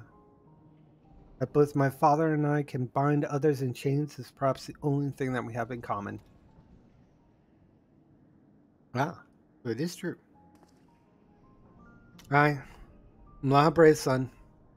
Bereft of his talent for magics, or his brilliant mind, but his son nonetheless. Really, this doesn't come entirely as a surprise to you. I had an inkling when you said you had practiced ethereal shackles since childhood. Assuming you hadn't been employed here, here quite that long, that do indicate some long-held connection with Lahabrea. It was Lahabrea that taught me how to cast ethereal shackles. That was it. And further education was overseen by the words of Lahabrea, more specifically my mother, who was a researcher there. You did speak of Athena. Keep keyward, uh, keyward before Lahabrea. She's your mother, yes?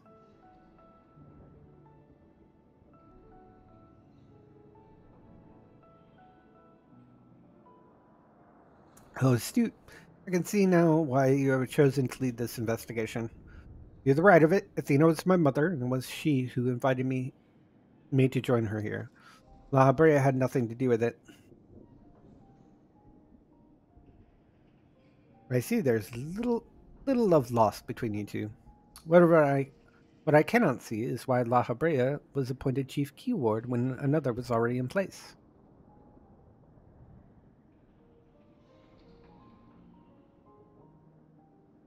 Was in place. My mother is no longer with us.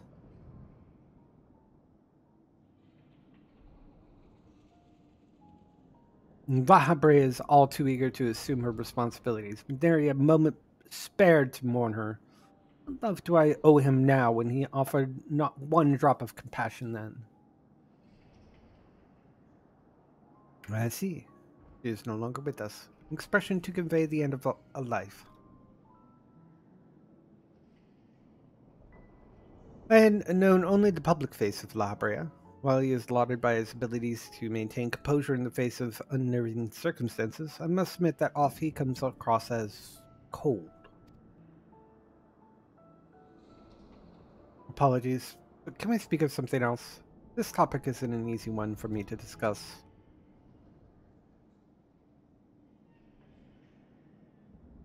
Of course. There's more pressing matters at hand after all, namely, how to deal with Hesperos. We have yet to see the other borders. Judging from what we, we know, we can surmise that Hesperos has confined them somewhere beyond our grasp. And now that he is aware of our presence, he will be prepared for our next encounter. We cannot expect to face him on equal footing. But the opposite, in fact. Every moment we spend chasing after the creations is another moment Hesperos can contrive another advantage for himself. The wisest course would be to find him first and foremost.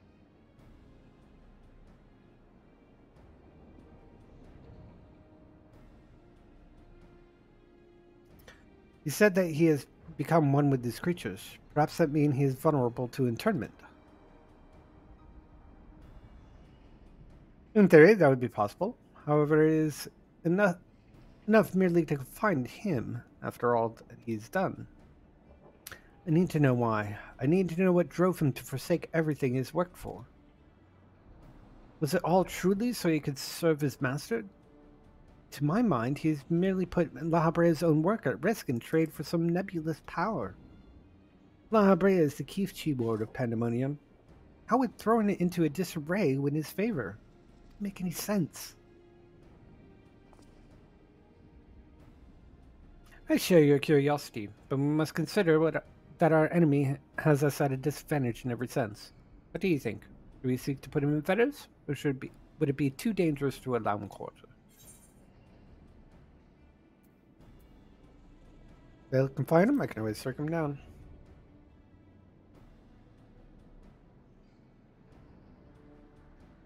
Daring as ever, I see. I know not what trials you have faced in your past, but I see you are, are so certain in all the con- and see you so certain in all the convincing I need. Very well, let us try Eric's plan. Thank you, amigos.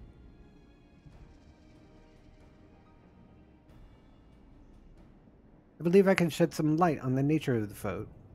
When Hesper spoke to us, I noticed he bore the telltale fangs of the Vrykolakas, beast which feeds on the ether of its prey. Likely is the creation Hesperos merged his essence with. And we know all too well that he can change the environment around him at will. The battle will not be an easy one, but I believe in our victory.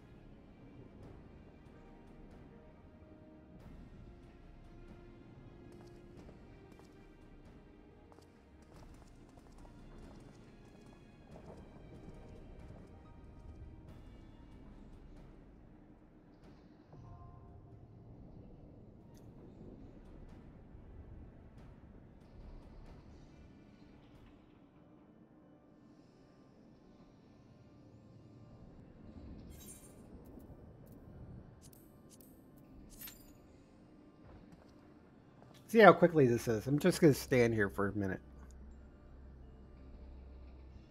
Let me talk to Eric and Dennis. That Hesperos possessed such a lust for power that he would resort to this. Clearly, I misjudged him. I'd like nothing more than to strike him down myself, but seeing you wipe that arrogant grin off his face will taste just as sweet. Call himself a Hemitheos and claimed immortality. I know not how he discovered this dark art, but his actions do not speak sound mind.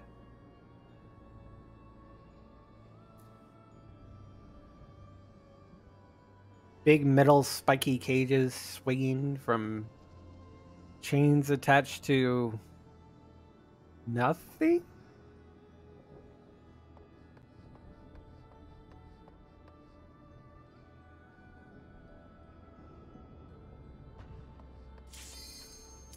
There it is. I knew it was going to be quick. And serpent guards, which look like one of the guards from uh, Ktisis Hyperborea. Hyperborea.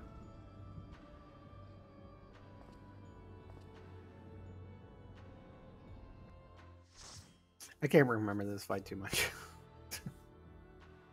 Follow the crowd! I'm like, yeah, whatever. I'm doing this for the story. And hopefully some gear.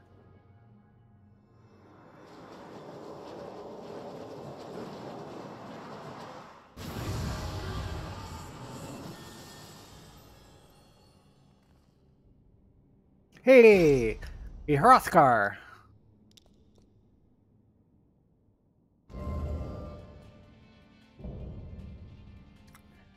Mesius Hesperos.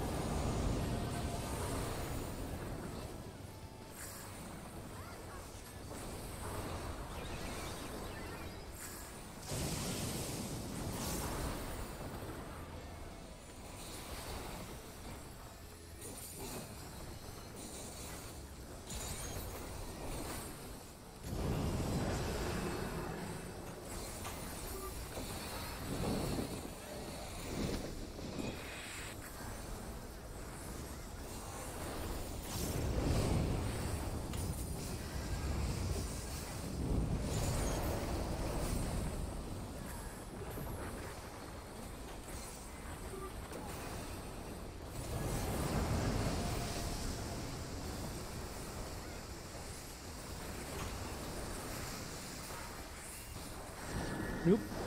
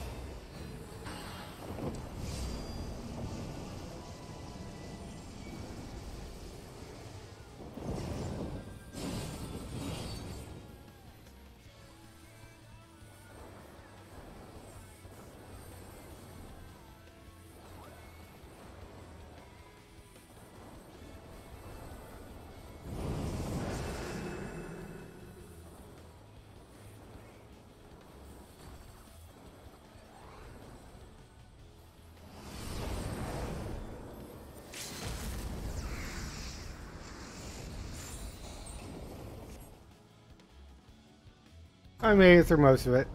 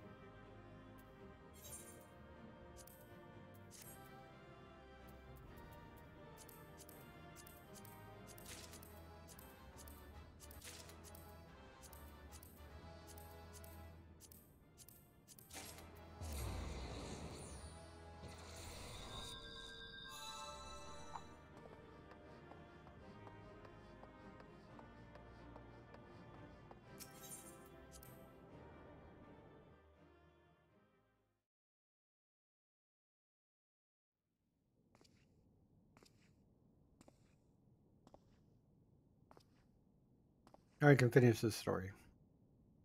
Now, Themis, we end this here.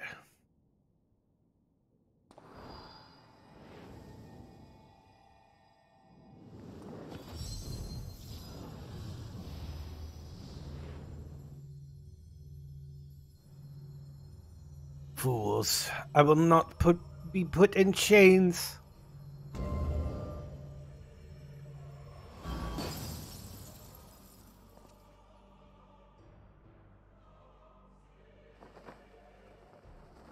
To think that I would fall before one of such as you. Perhaps I should have treated you as more than a mere nuisance. Despite your victory, you should never have the knowledge you seek. The secrets of my transformation, the secrets of my deception, shall return to the star with me. You've wasted your best, Hesperos. You have we have the upper hand now. Surely you can see that. Yes, yes, your repertoire is not exhausted yet. Uh, my repertoire has not exhausted yet, however. Though I have failed, my end shall be on my terms.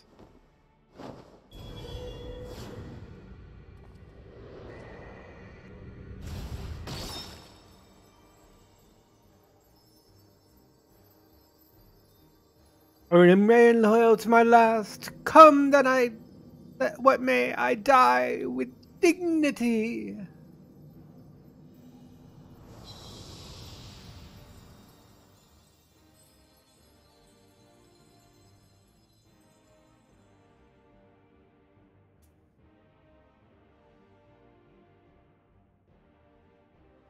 How did your ambition lead you so astray, Hesperos? We're better than that. Your star shone more brightly than any other in Pandaemonium. Yet Lahabrea's respect his trust. What more did you seek? That you would forsake all that and sully legacy besides.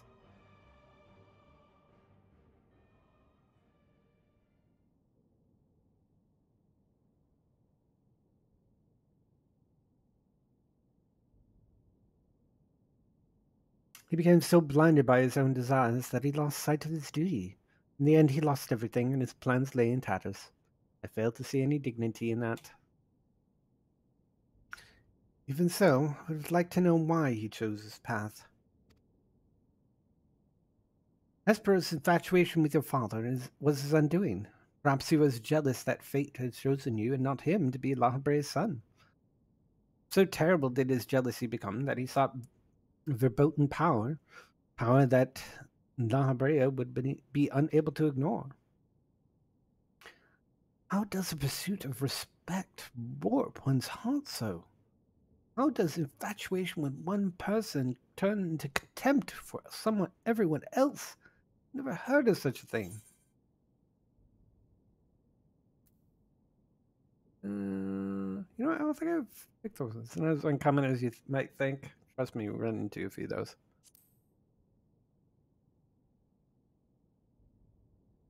Happens. It doesn't make it right. See, admit I can, cannot but find it vexing, but perhaps that signifies not but my own capacity for bitterness.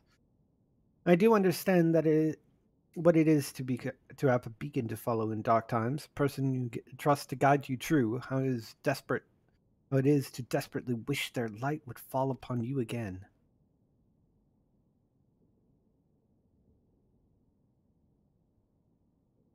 But we have spent enough time assuming the intentions of the departed. There is, mm, there are the living to consider. We must find the other waters and round up the remaining cre creations forthwith. Of that, at least, we can be certain. I believe I can be of help in that matter. The influence of Hesper's magic is fading throughout Asphodelos. How is now is the perfect opportunity to seize control of the facilities and restore things to their original state. Seize control? Can you really do that?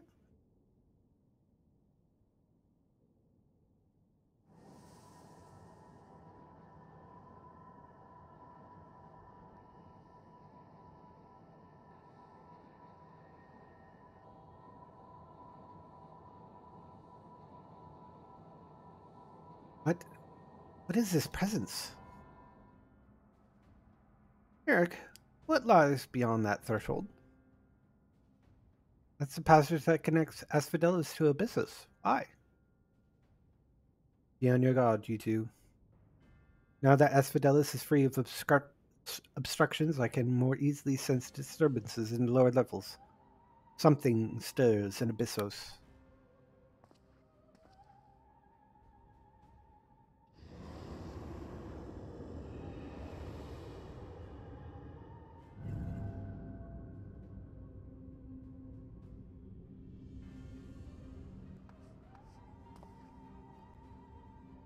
Warning sigil? How? Let's return to the gates for now. I should like to appraise the situation from there. Needless to say, our investigations are far from over.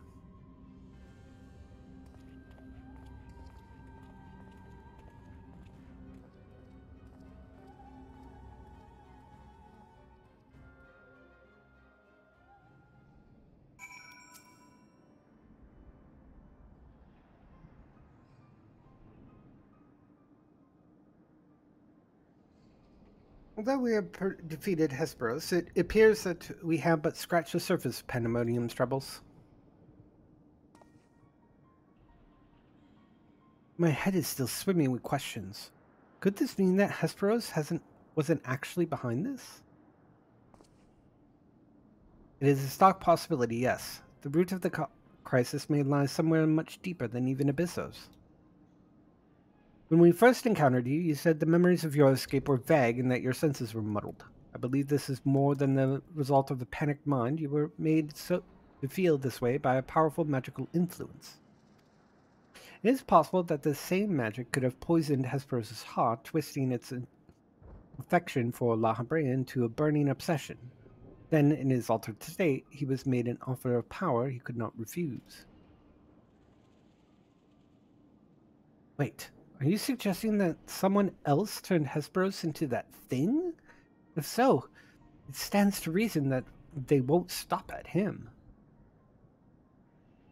Indeed, a mysterious mastermind does not lack for subjects for his experiments. It's or more potential hemitheoi. Oi.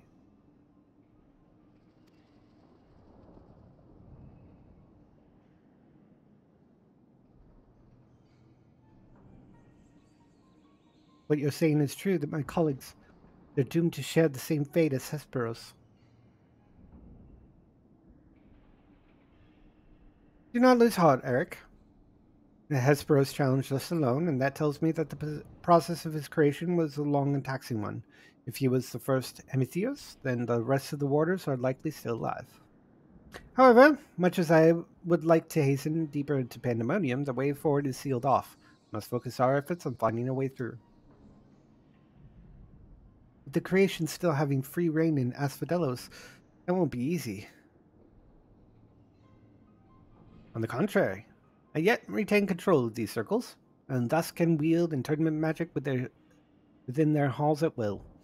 The creatures will pose no threat to us. Just like that. then nothing's stopping us from returning order to Asphodelos. Just so, I shall require your expertise to keep the peace um, after the subjects have have been returned to their confinement. However, you are Asphodelos' sole remaining warder, after all. Truth be told, I did not expect this investigation to become so involved. Of course, I would like to resolve matters here without resorting to outside help. But You mean to send a report to Lahabrea? It is too soon to say. Let us first find a way into Abyssos. It would be best to uphold our, withhold our judgment until we have ascertained the whereabouts of the other warders and the identity of the party responsible for their disappearance. Agreed. Even so, it means saving. If, if it means saving even a single life within Pandaemonium, then I'm not above asking Lahabrea for help, should it come to that.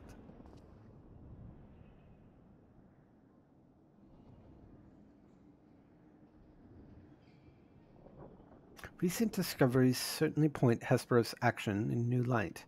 The number of unknown elements in this investigation grows, and we must proceed forward with the utmost caution. To that end, Eric and I shall remain here for the time being. Much as I enjoy your company, I do not believe we shall be needing protection so long as we remain in Asphodelos. You should take this time to rest. Surely you are weary. There may be more battles ahead of us. Themis' burden may grow heavier in your absence, but he'll sh he's shown that he's more than capable to bear it. Still, I would would help what's I would help wheresoever I'm able. All we've achieved so far has been thanks to you two, and I mean to repay the debt I owe. I don't know what use I can be outside of pla placating the creatures, but I'll find a way.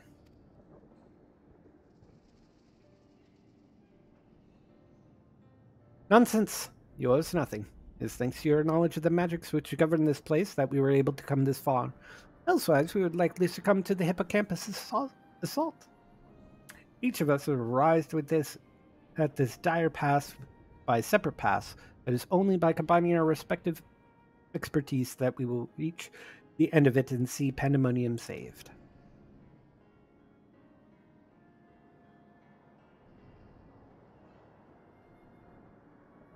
Thank you. Themis. Hesperos. Thank you, Themis. Hesperos' words seem to have affected me more than I realized. Together we will come as far, and together we will reach the end. I have no doubt you will. Even so, let us allow Amigos rest. Besides, you have someone waiting to report on your progress, yes? I dare say your story will be much, much more than I... Will be much more than they ever imagined. He knows. Alright. Back to Aporia.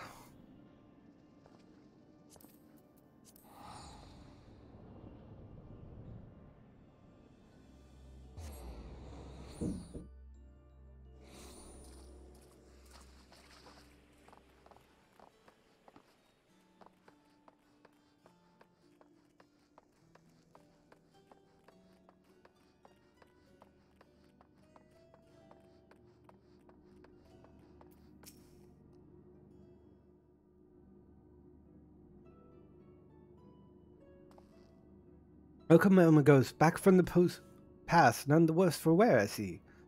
So, what did you find? Exposition.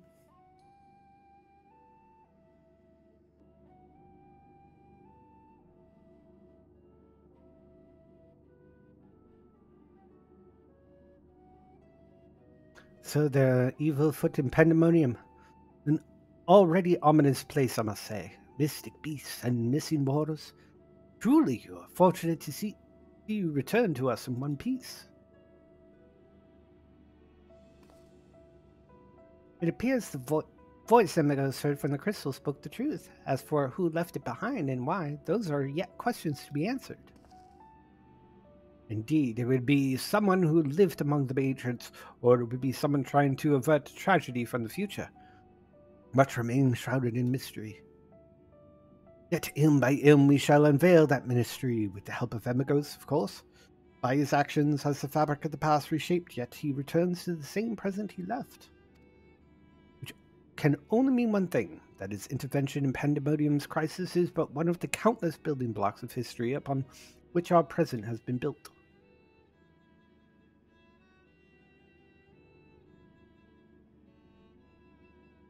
There is no telling what consequences would arise if we stopped pursuing the, this matter now. Whatever plot is unraveling within Pandaemonium, we must not let it reach its conclusion. If one of those creatures should escape, what ripples could carry forth through the future? Might wreak havoc upon the world of the ancients, and their despair would leave an undemnable mark upon history's pages. Their despair would only feed the terrible beasts that aroused during the final days. The first final days already had dramatic effects on the eons that followed. The scars it left was made, made even deeper than we risked losing our present entirely.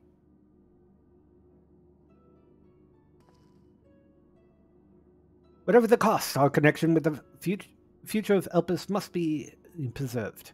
I know I've asked much of you already, but can I count on you to continue your work in Pandaemonium? Your tireless efforts are much appreciated there's aught you can do to ease your burden, you only need say the word. Speaking of which, might you return the crystal into our keeping? While we cannot accompany you to the past, perhaps something can be gained by researching it further.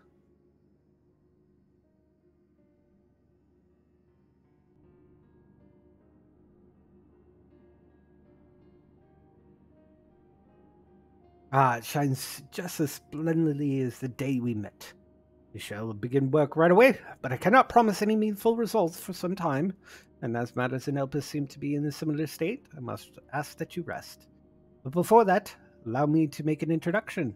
Our research moves into a critical stage. I found it only suitable to recruit another assistant. Malene is an expert in armaments from throughout history, be they from the far-flung past or made in the most modern forges. Should you find aught to interest in your adventures, bring it here and she will be glad to offer you services. We know researchers in numerous fields that would love to get their hands on artifacts from bygone eras and would give you goods in return that would should aid you in trials ahead. Basically, this is one of the places you can exchange stuff. Furthermore, if you ever wish to pursue the records of events you have reported, Nemjiji has been taking faithful and thorough notes. Uh, she is at your complete disposal.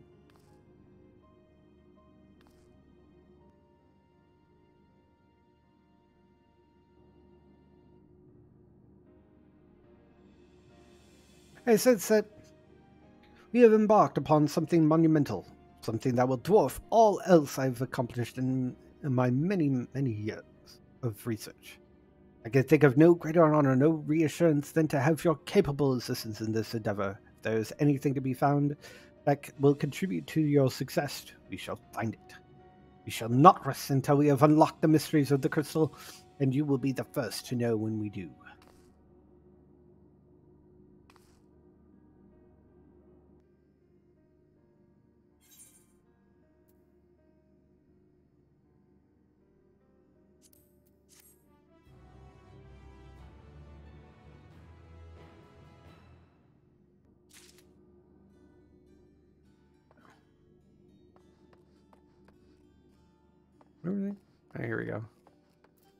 Don't think I could have anything to exchange. Yeah. I've got like some of one. Yeah. Some chances. I have a couple artifacts. Oh, I got a Nosferatu too as well.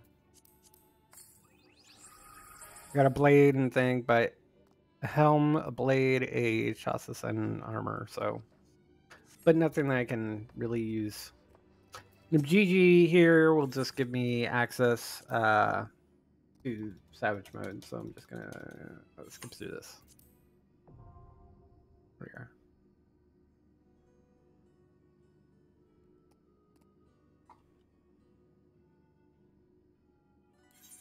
All right. Now we can finish the role quest. Uh, I was less than that. Never mind. Uh, because of Zampus.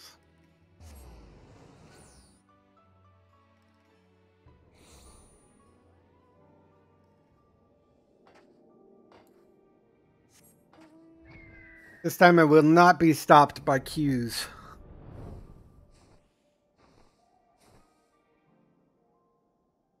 if anything, while we were waiting, we got a little advancement in this part.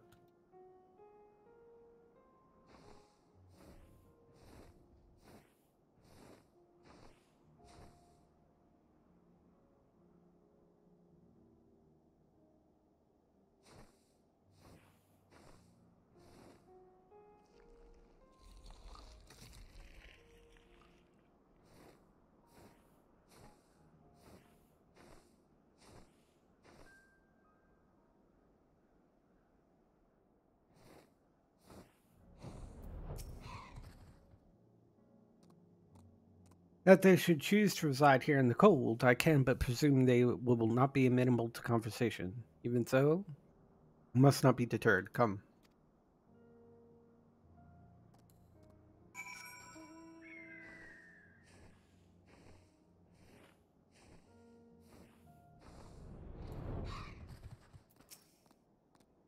Talk?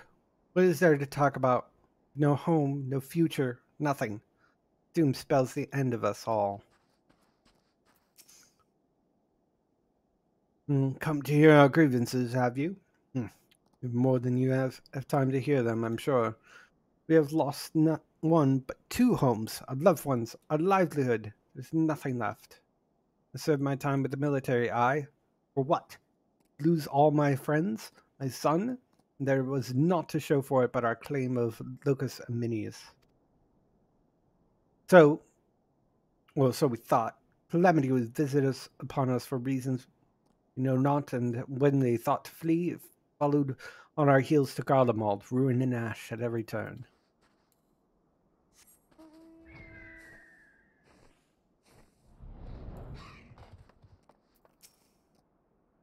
Hmm, can't imagine why you or anyone would would feign interest in our troubles, but if you insist, you find great many of the people here are in the military at one time or another, some retiring with honors, others without. Sadly, I'm one of the latter. Born one too many scars in battle, and so my contributions weren't enough to warrant leave to move to Locus Amoenus. It was a land of warmth and bounty. The Corvosi rebellion admittedly proved troublesome for a time, but it didn't take long for the uh, Second Legion to quell their uprising, practically drown the calm and quiet. And then one day the skies came alive with flame. We were overrun by all manner of foul beasts born of our brothers and sisters. Second Legion barely had time to assemble their forces before they were overrun and snuffed out. We barely escaped with our lives. But we were greeted only with more re- rack and ruin at our arrival here, and were We've not the strength to take our home back from the Corvosi a second time. There's nothing left for us anywhere. Did you learn uh, from how they came to, to be in such dire straits?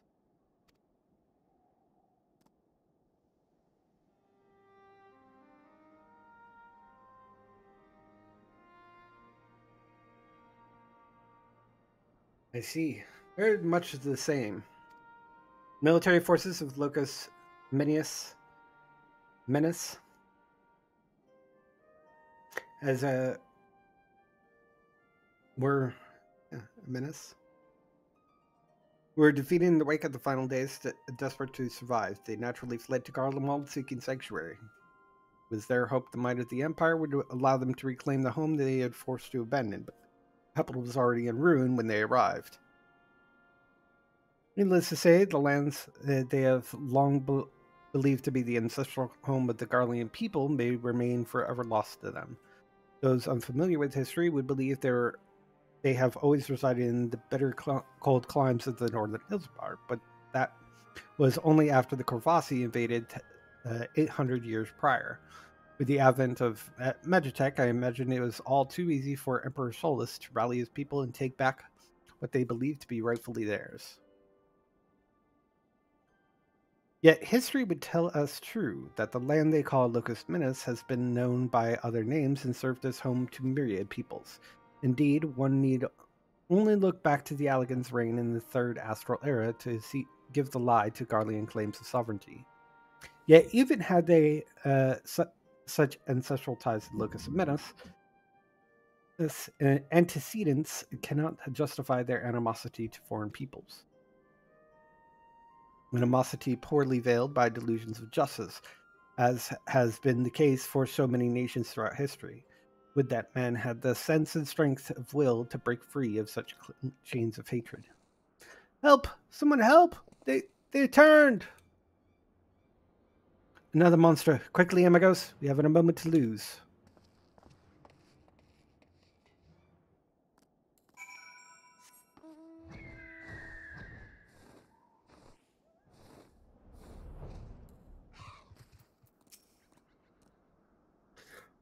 One of my mates seemed unwell, so I thought to come over and look in on him.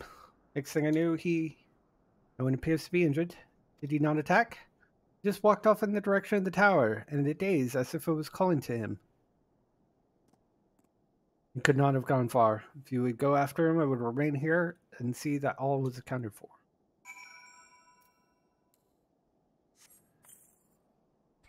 My choke bow out.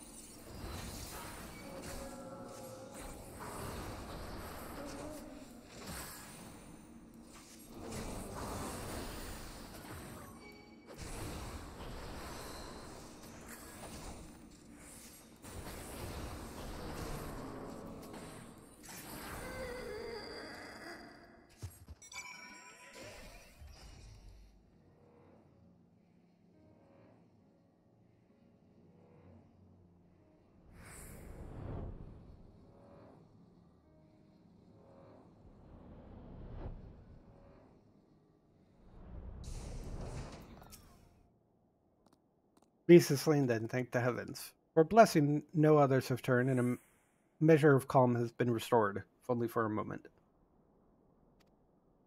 Witnesses uh, were able to offer a clue as to the source of the transformation. They claimed the affliction was listening to this radio. Even now, it continues to play the same cryptic message.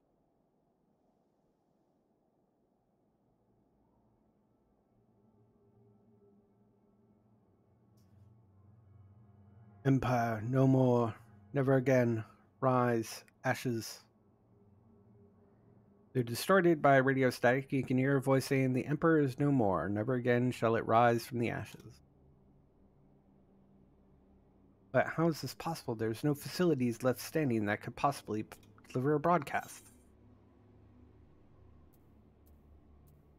Last time this happened, the signal came from the Tower of Babil.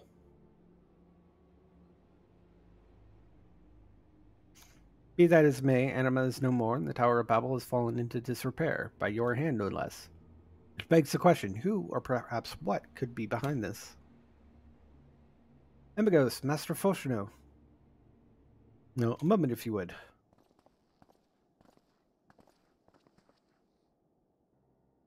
Shortly after we finished our inquiry at Liminal Station Station 4, Lord Aymeric and Admiral Merlwyb arrived and requested an audience. Apologies for our late arrival. Knowing firsthand the devastation of which blasphemies are capable, I discussed the matter with the Admiral, and we were of one mind that the situation warranted our immediate presence. Aye. It is safe, safe to assume a representative from the Soviet team has already arrived? Indeed, I have. Thank you for coming all this way in such short notice. Recent events here at the camp have proved most enlightening. Exposition.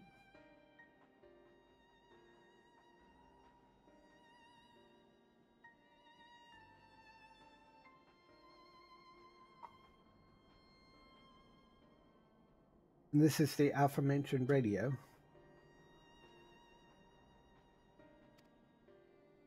Empire, no more, never again, rises ashes harsh reminder of the misfortune, sufficient to push some wayward few over the edge, it would seem. Yet there still remains a question who is sending this message and from where? Glory everlasting, Garlemald. Oh, glory everlasting for Garlemald. No, it couldn't be. You recognize this message? a mantra once spoken by Lord Nerva. Anyone who lived in the provinces under his authority would scarcely forget those words. He sought to claim the throne after the assassination of Emperor Aris, did he not?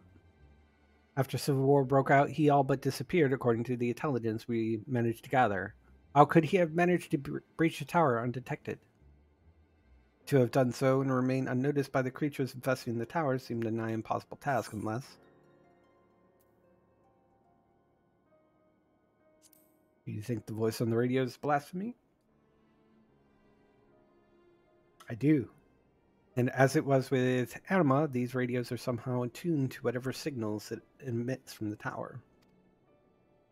What's, what's more, I believe the true identity of the blasphemy is Nerva, robbed of the throne and forced to watch the empire he loved to crumble, to command, long to command, crumble before his eyes, and such such loss did not drive him to the same fate as Quintus. Quintus. The Despair he felt, no doubt, overcame and turned him. Nerva's delusions of grandeur aside, the godling's plight sounds not unlike the Sahagin, desperate to to proceed, desperate to preserve their spawning grounds. Indeed, though unscrupulous by any measure, the Guardians found solidarity in their ideology, and did the people of Ilsabard, Ishgard, as did the people of Ishgard to the church. Drift Adrift without home and purpose is all too easy for despair to take hold. Would that a remedy were as simple as offering them land as we did the Sahagin. In all likelihood, the Garleans would refuse to settle for aught less than what we believe to be their ancestral home of Locus Amoenus, a claim the Corvosi would readily take arms to denounce. Would do well not to further fan the flames of animosity twixt them and perhaps by the very least we could offer them peace of mind and means to regain some semblance of stability in their lives. To offer them true comfort and stability, Garlemald must be rebuilt. By no means an easy solution, but perhaps the only the one only worthy of pursuit. Course, this new Garlemald must remain a uh, sovereign nation, free from the oversight of others. Aye, they would see no meaning in it otherwise. If I'm not mistaken, Alphinaud and Alisaie have already made strides in helping the people here regain some normalcy in their day-to-day living. More important first step, but it would mean little without proper leadership. Rather than a single individual, perhaps a governing body of sorts would prove more effective. There's a number of former Senate Senate members along the refugees at Camp Broken Glass, as I recall. With their help, creating the framework of new governments is not an impossibility. And let us call the people together and see what they can make of our, our proposal.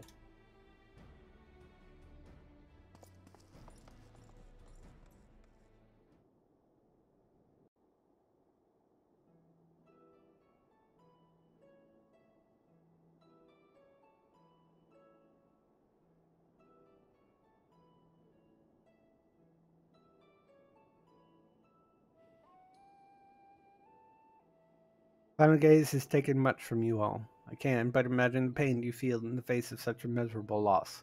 Though the final days have been averted, it affects yet linger and a blasphemy has been born your suffering. Decisive action must be taken before further harm is wrought upon you. To overcome such adversity is too great a risk for any one person, but as a people united, there may yet be hope for the morrow. While it is not our place to decide how you will move forward, we would offer a small measure of guidance. We were told a number of former members of your Senate yet remain among you. You'd be amenable to an interim government led by those individuals until such time a Garlemald can be rebuilt?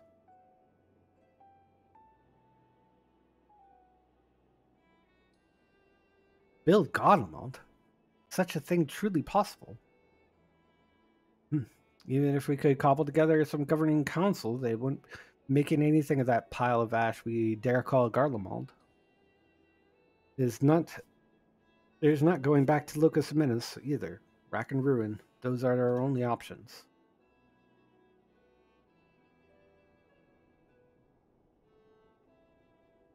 I realize to rebuild Garlemald is seemingly impossible task, but you needn't undertake it alone. My children are working with numbers of the First Legion as we speak to begin an organized relief effort. There are others from the provinces no doubt willing to lend their expertise.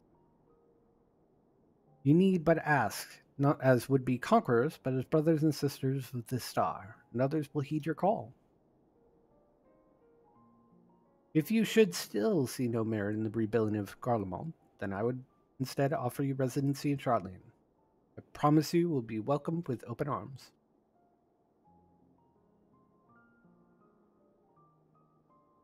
Sharlayan. So now you expect us to go and lick boots in some country we never even heard of? My apologies if I appear uh, overly forward in my proposition, considering your strict policies are strict policies have done and ventured until but recently, it's not surprising that you would be unfamiliar with my homeland. It is an island nation in the north, home to myriad people, which is why I believe it would not prove difficult to accommodate you and yours. To be clear, we will not be migrating to Sharlayan to live in servitude. We have my word that each and every one of you would be guaranteed citizenship upon entry. And why exactly would we go to such lengths for us? For the conquerors you barely know. Is long aware of the coming doom that would be the final days, so we are preparing to we were preparing to evacuate the star, taking as many people and resources as our stores would allow. Initially, it was our intent to save the people of Garlemald as well, but we had not forgotten your transgressions invading Ala Mhigo, rejection of your our entreaties for, for peace. After a great deal of deliberation, it was decided we would forego an invitation to Garlemald, a determination made with great trepidation.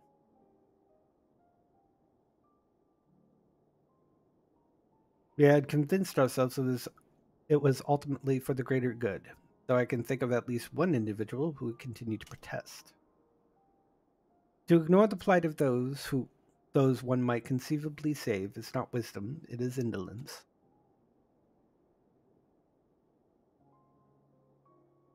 Sage counsel, I brazenly cast aside when confronted with the final days in earnest. But Amigos here and his companions refused to forsake those who were otherwise unwilling, otherwise un- we were un- otherwise unwilling to save, with great risk to themselves, they achieved the impossible and opened my eyes to the error of the forum's decision.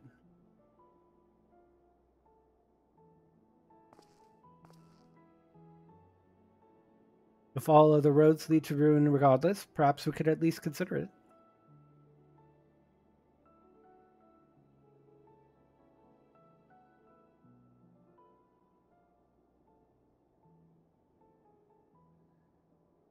Then it would be my pleasure to invite you all to Camp Broken Glass, where you shall have warm food and beds both.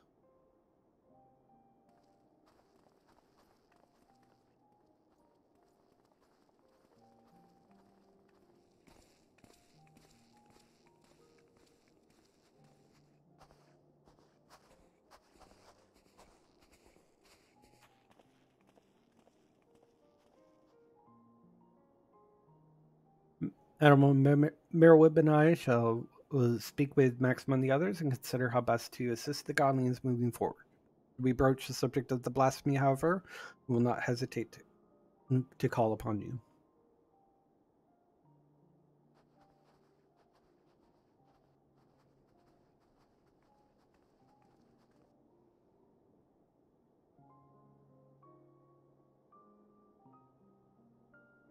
Those boots look familiar.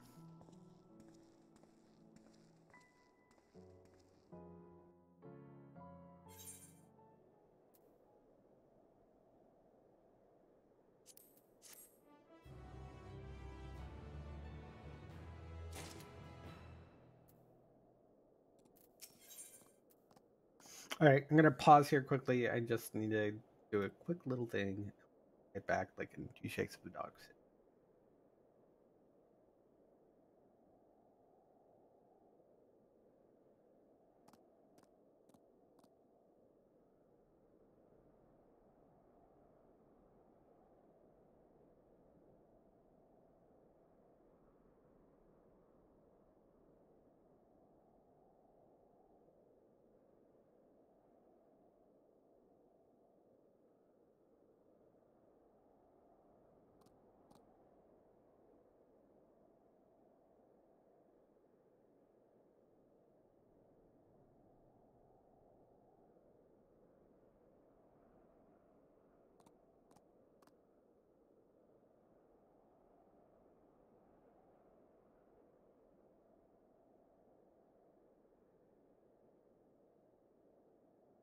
All right. Oh, wrong screen. Here we go.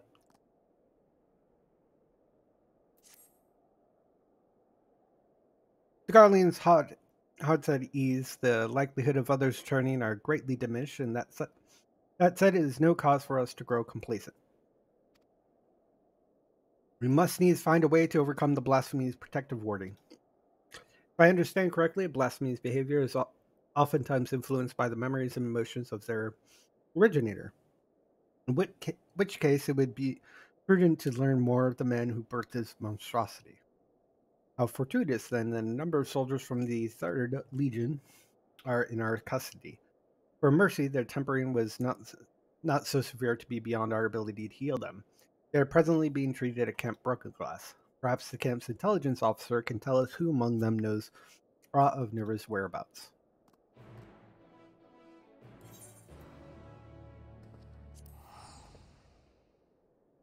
Quick telehop.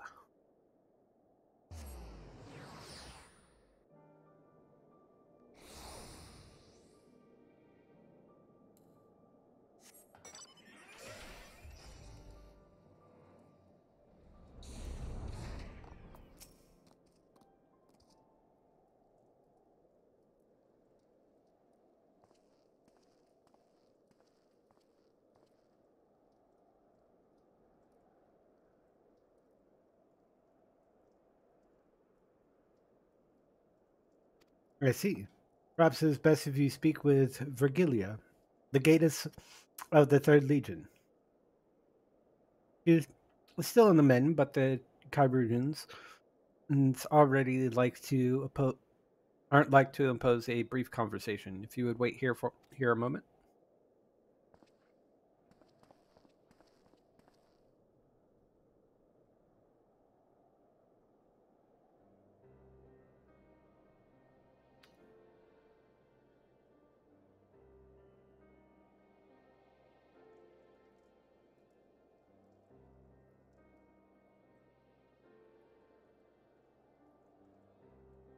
The champion, I presume. One of his cohorts.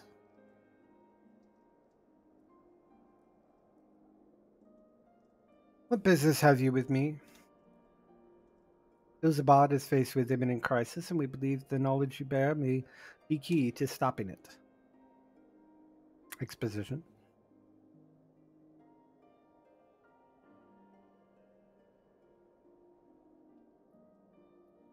Thus do we believe the blasphemy to be Nerva, whose whereabouts in the wake of Garlemald's fall or lack thereof gave credence to our theory. Lord Nerva? From what we have pieced together thus far, we are one you are one of the last to see him alive. Please, will you not share us what you know?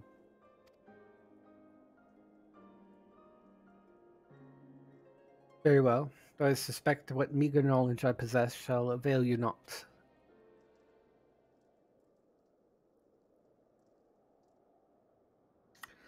I last spoke with Nerva shortly after the warring with the, la- the First Legion began. Though still within the lower levels of the Seneculan Imperatus, he spent the better part of the day listening attentively to the radio. He seemed hopeful or perhaps desperate for news that the tide might turn in our favor. The next day I left for the front line. It was there I heard a terrible noise, which I assumed came from the Tower of Babil. The darkness took me, and I remember not about it. I was told the radios protect those close to them from the effects of the tower, in which case Lord Nerva would have remained unaffected. But he has never been, been devoted to he has ever been devoted to Garlemald. For glory everlasting, he would say.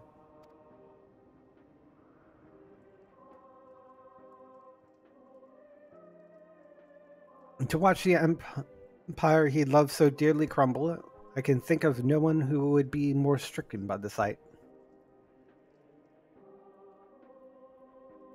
It would seem me of right to assume what became of Lord Nerva. And it does not surprise me the beast would choose to make its nest within the Tower of Babil. It stands atop the remains of the imperial palace and the throne he revered so highly. But the Empire is no more, and Lord Nerva apparently is no longer the man he once was. He deserves to be laid to rest, together with his dreams of glory. We will fell the beast. You have my word.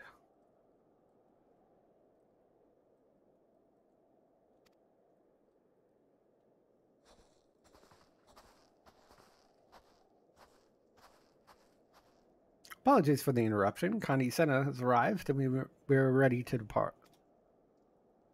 Tis good to see you, amigos, Master Fourchenault. I've spoken with Lawrence of the ward protecting the blasphemy and I'm quite confident some manner of ether-based magic bars our path. If I may be so bold, Elder Seatsier, you reach the same conclusion initially, but that simply is not possible. These creatures born of the final days was devoid of ether. As such, they would be unable to produce such barrier in a manner of which they've accustomed. Do you suppose it's possible they manipulated dynamites to achieve a similar effect? I too thought to dismiss the notion of a barrier fueled by ether. That is, until I stepped foot in Garlemald. Even now I can sense streams of ether flowing towards the tower. Its purpose was, after all, to harvest reserves of energy sufficient to reach Moon, even if one was incapable of manipulating ether directly, it stands no reason to stands to reason control of the tower would alleviate such need. Tis merely conjecture, of course. I cannot say for certain until I have examined the content, the currents with mine own eyes. Might I ask you to accompany us?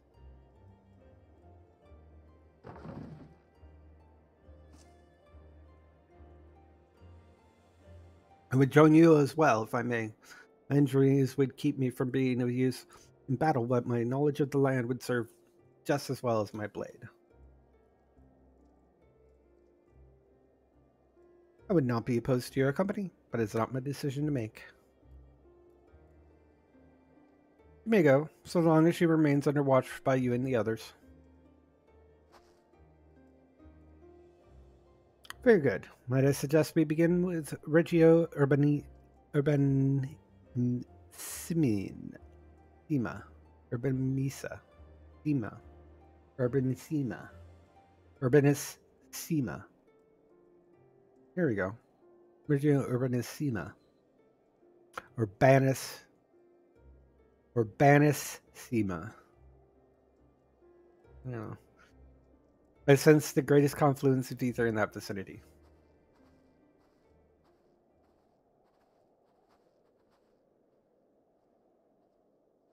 There's those boots again.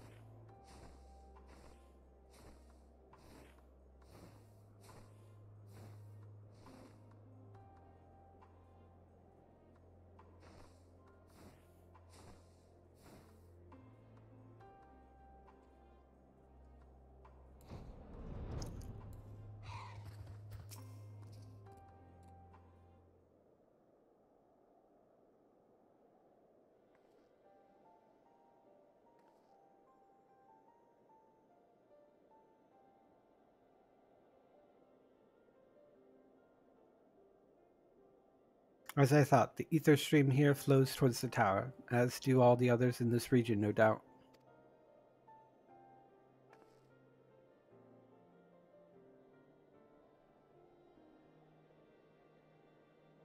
This convergence first began when the Telophoroi uh, erected spires in all corners of Eorzea to fuel, fuel the Tower of Babil. But once destroyed, this divergence of ether sh should have ceased.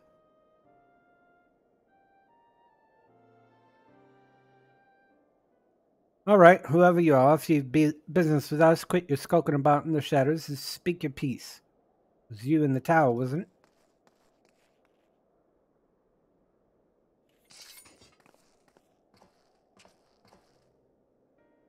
My, my. You're sharper than you look. Of course, it's Nero.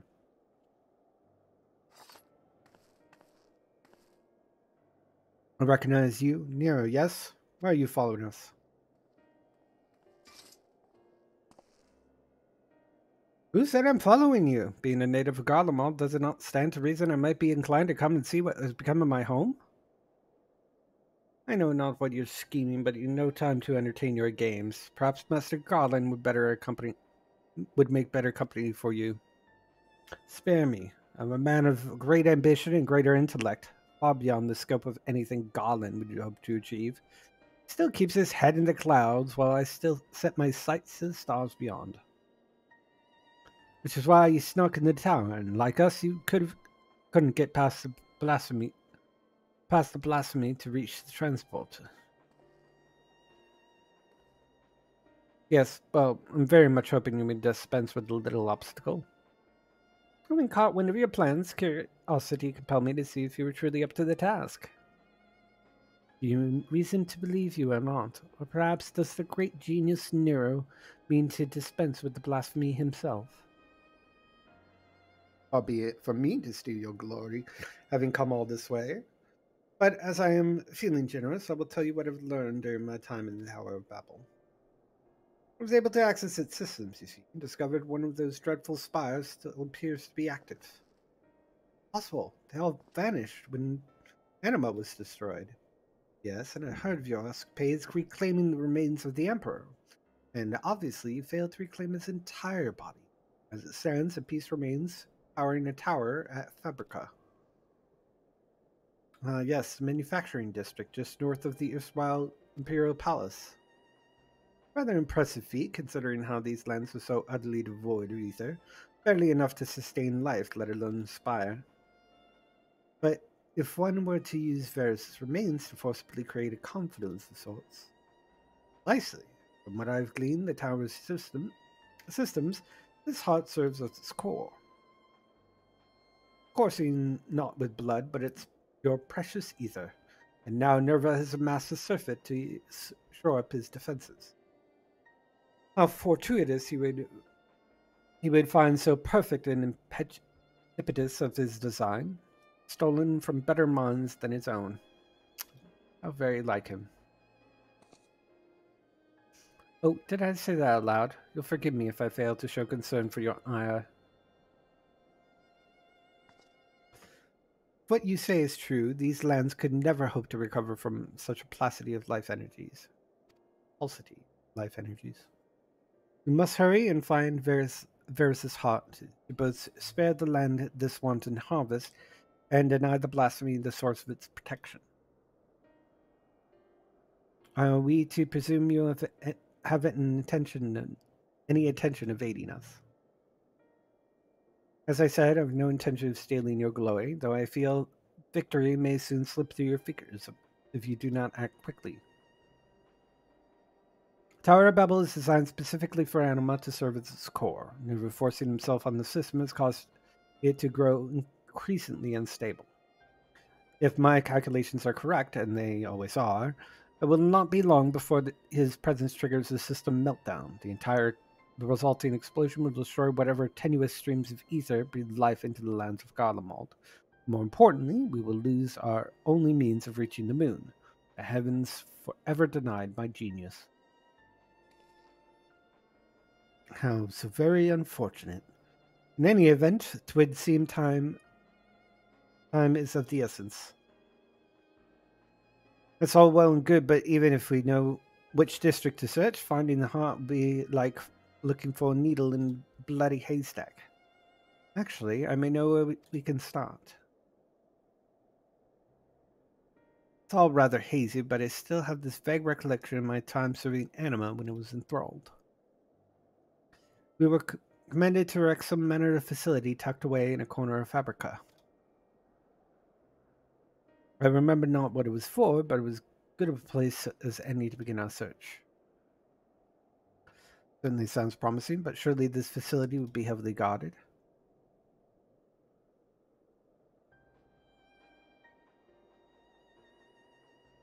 Maybe it'd be best to divide our forces. It's just the four of us. Shouldn't prove too difficult to sneak inside and find the heart.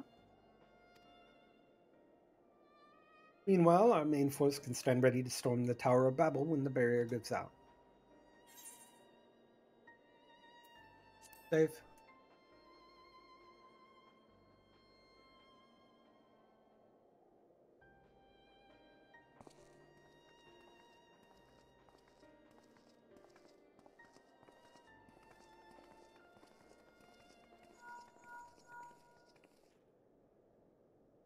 This is Levier. What? Very well. We shall return at once. Member of Godlings have left camp for the Tower of Babil. They have somehow misunderstood the threat of the tower and convinced themselves that Nerva has taken refuge there, still clinging to their ill-placed patriotism, no doubt. They could not have gone far. If we act quickly, perhaps we can be found before they come to harm.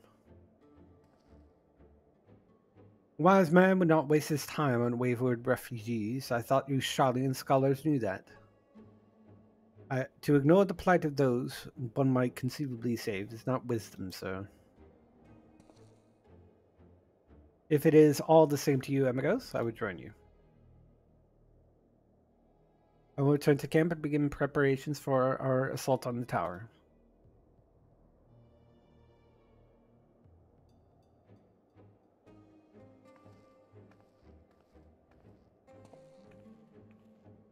Uh, I suppose I should go as well.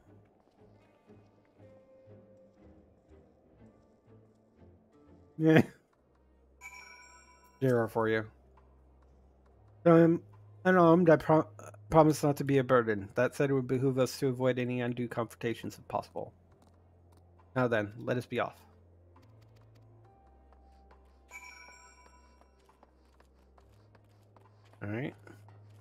Around behind this automated death machine. Oh, turning around. Go over here. Away from the automated death machine. Really weird at calling their machines, things like that.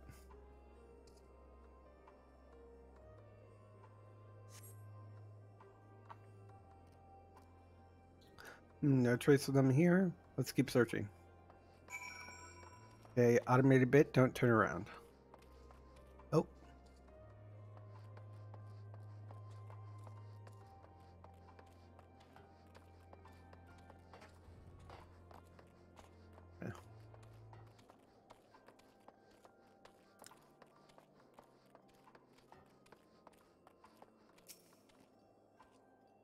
You stay over there, automated co Colossus. Help! Someone, please! Did you hear that? It came from over there. Okay, he's no longer following me, so I can fly.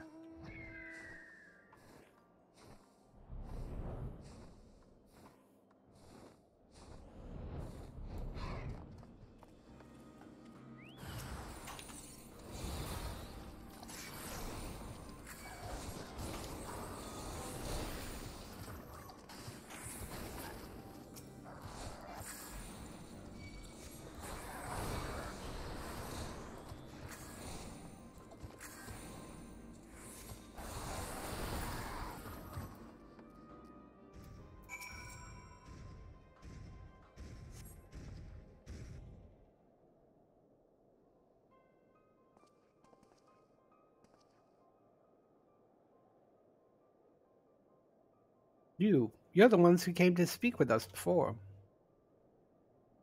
We heard Lord Nerva's return and was assembling his forces in the tower, but... Uh... No, well... Not exactly. No, not Lord Nerva, too. Then this really is nothing left for us will not deny your situation is dire, but you are not without a path forward. Believe in your passion and conviction needed to rebuild Garlemald if you so choose. Failing that, you could begin a life anew in Sharlayan.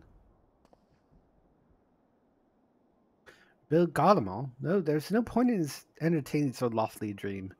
We would sooner die than suffer life under the rule of another.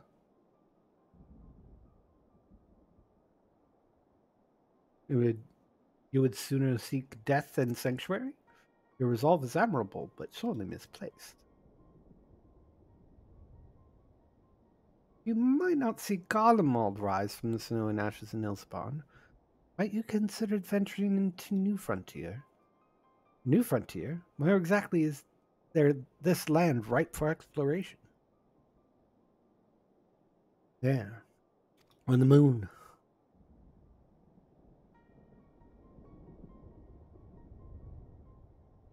It is our goal to create a repository of man's knowledge there, free from the jurisdiction of any nation.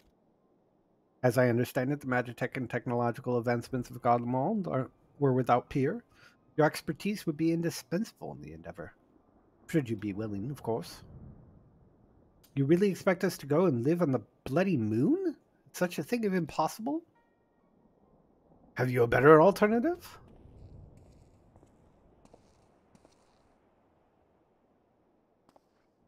Lest you forget, Garlemald did not rise to grandeur from complacency in the in the present or rumination in the past. We live for the future. It is our blood. Life is not without its hardships, of course.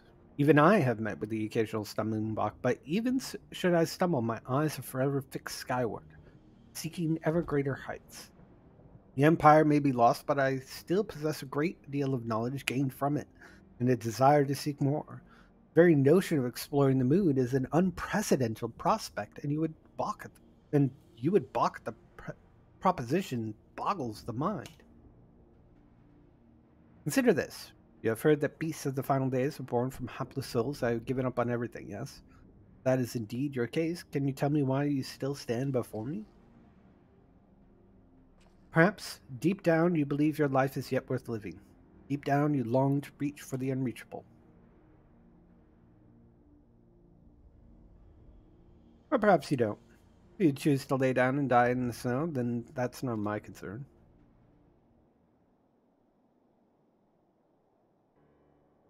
Reach for the unreachable. That sounds like something I would have said, said back at the academy. All right, we'll go. I suppose it's better than dying here in the snow, as you so grimly put it. Then we must first dispense with the blasphemy that commands the tower.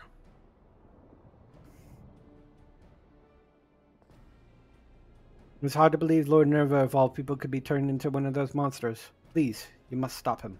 Put his soul to rest. Thank you. I'm sorry for causing all this trouble.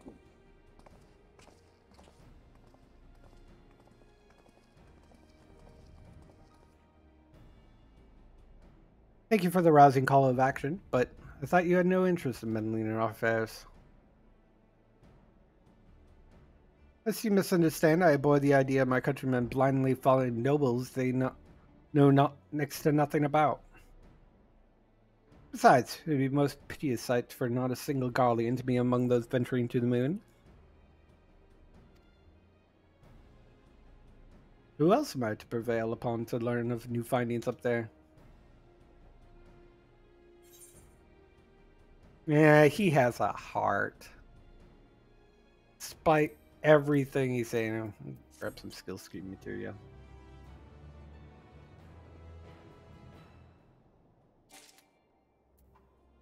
Alright, running out of slots in my inventory. Fortunately, I was eager to regroup and make ready for battle.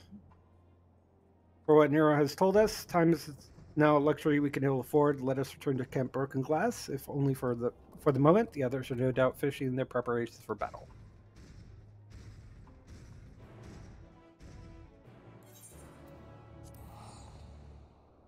Hop.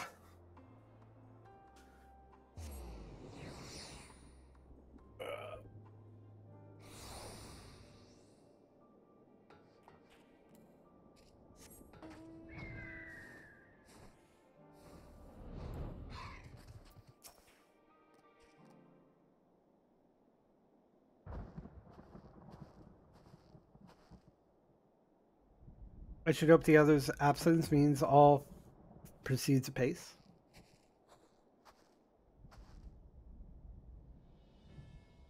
Good. You're here. With the recent arrival of reinforcements, our preparations are all but complete. Apologies for our lateness. It seems we are at least in time to help deliver the crushing blow. Aye, even if the fates are and if the fates are kind, this will be the last we see of those damnable blasphemies. Commander Aldin, Lord Hien. Thank, thank you both for coming.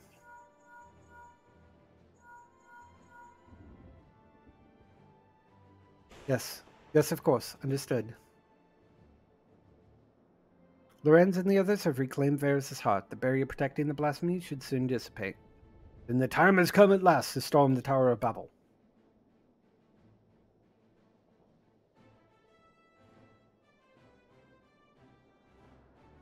Merlwyb and Lord Aymeric await our arrival at its base.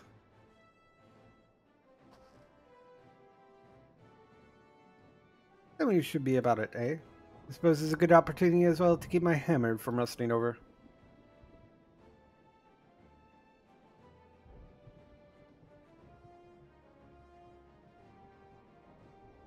I'll accompany you as well. As the foreman's representative and member of the survey team, I feel it my responsibility to see this through to the end.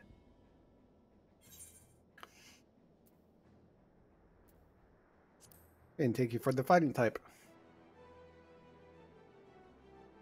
Despite appearances, I'm no stranger to the battlefield. Indeed, I have seen my fair share traveling the world in the service of the Forum. Though I may not be the equal of Alphinaud or Alisaie, we shall not find ourselves wanting. I can promise you that much. Does he go, hey, Alphinaud, can, can I uh, uh, borrow my old uh, uh, uh? You have finished your preparations. We shall reconvene at the en- Enceladium. Where that thing is. Because remember, Alphinaud got uh, his dad's sage nudeless.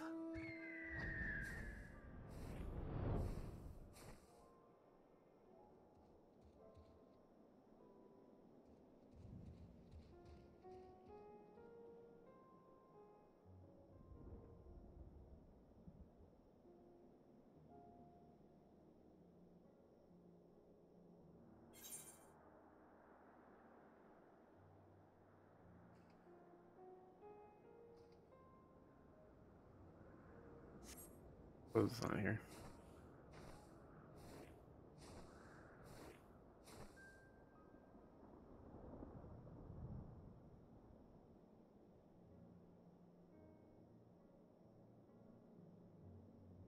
Hmm, time for the duty.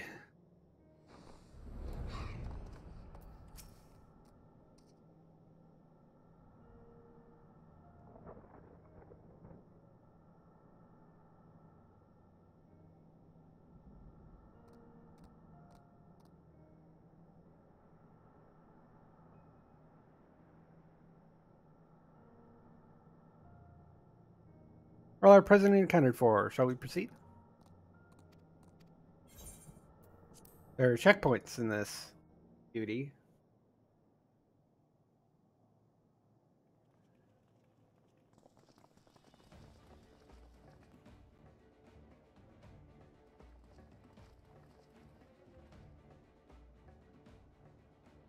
Our objective is simple. Locate and eliminate the blasphemy Nerva.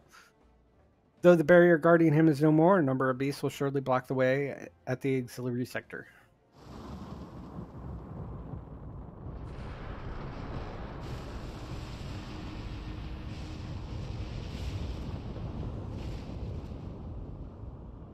Off to a smashing start, I see. It would seem the tower has reached its limit sooner than I anticipated. If we are to save the transport, we must hurry and find Nerva now.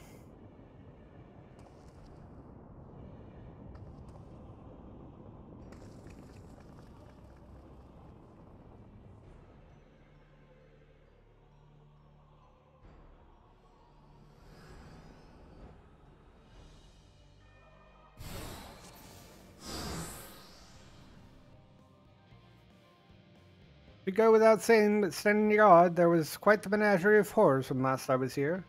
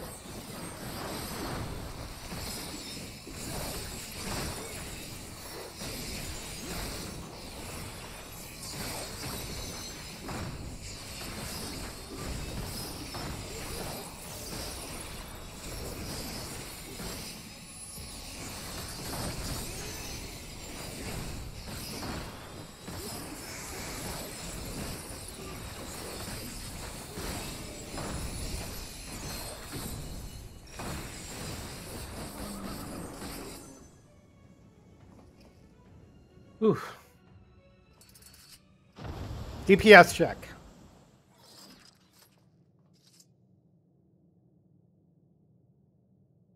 That the last of them?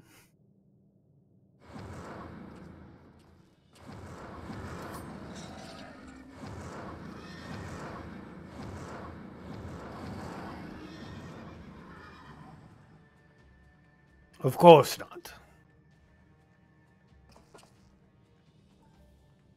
Can't afford to impede our events any further. Commander Eldin, let us hold them off here. Master Fortuno, take the others and go. Quickly! Understood.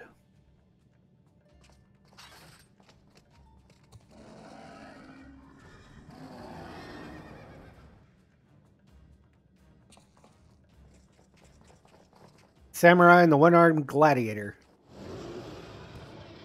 Come up to Anima's chamber, and there's Nerva. Oh, hey. This creature looks familiar. No. Fine.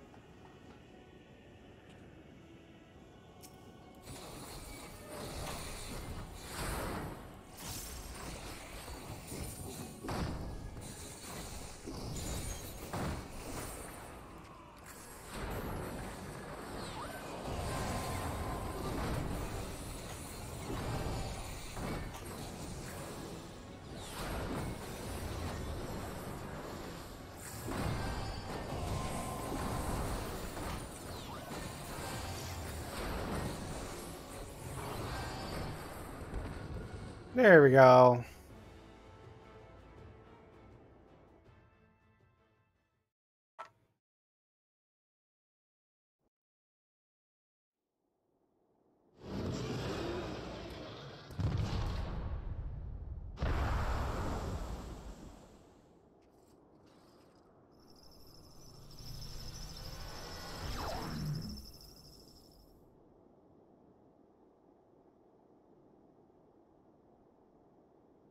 Glory everlasting indeed.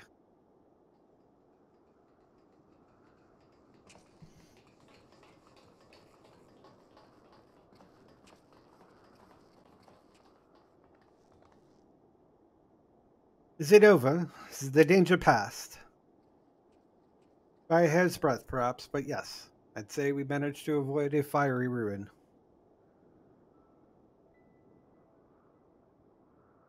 Our path to the moon is open once more. The duty of Sharlayan has ever been to chart the course of history, not to change it. Thus did we fervently hold to our policies of neutrality and non-intervention. In truth, it was all in service of our plans of exodus. We abandoned the star to its ruinous fate. Harsh though it may sound, I still believe it was ultimately for the greater good. Uh, no, that's fair. That's fair. It is a backup plan. Always good to have a plan B.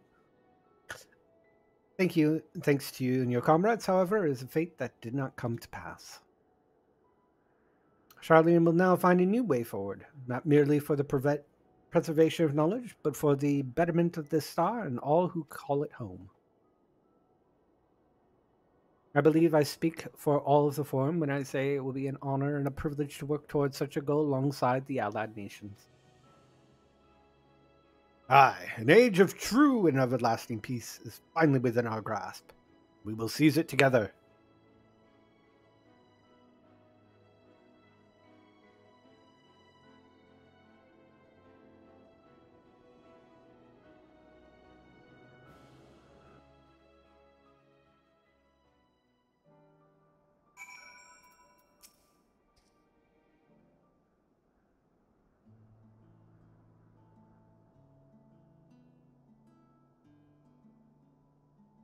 Tis a relief to know we are no longer in need of battle. Despite our experience, I must confess I am ill suited for it. The allied nation leaders, meanwhile, demonstrate an aptitude for combat far and above what I might expect from diplomatic figures. And you, my friend, I see now why you are so well regarded as a Eorzea's champion. The others have already begun the arduous journey home, but before you go, I would offer a word of thanks to the both of you. Not for your timely assistance, your plans would be forfeit, and the lands of Ilsabard forever defiled by the blasphemy. Please, I have no need for your platitudes. I labor only to further my own ends, nothing more. We heard the news. Thank, thank you for everything. With Lord Nerva laid rest, we have peace of mind to move on without regret.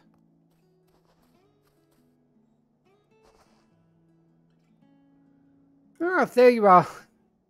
Now, what's this I've heard about you cleaning out the Tower of Babil? Are you finally ready to return to the moon?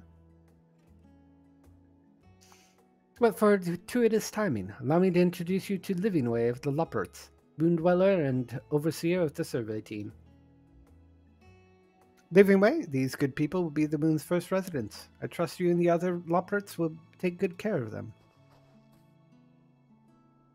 Pleased to meet you? Residents? Oh no. Uh, I mean, oh yes, splendid. After many, many long years of planning and preparation, the moon is absolutely, most definitely ready to accommodate your stay. didn't, didn't, didn't we had to clean up the big cheese? Glad to hear it, and apologies for the delay. I must first confer with Lorenz and see to our final preparations, but your residence to be and the survey team shall be along ere long. Might I trouble you to relay uh, word of our success to Shurabat in the Razat I should think the tidings are the most heartening coming from you. Till next we meet.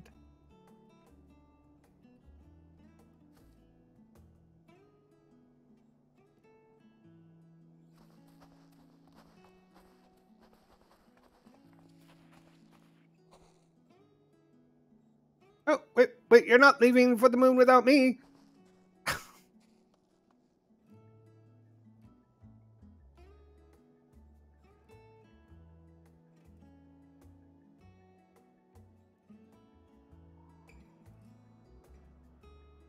I mean, one thing they should probably do is uh, they should do some renovations on that Tower of Babil.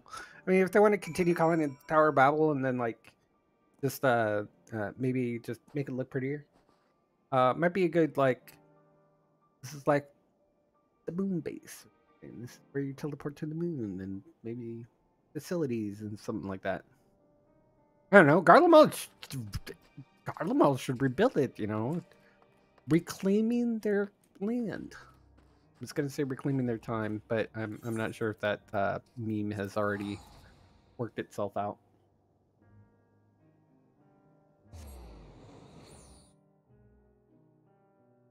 There's a lot of work, and I'm sure there's a lot of nations that uh, people that would like to help out. Yeah, nice endeavor.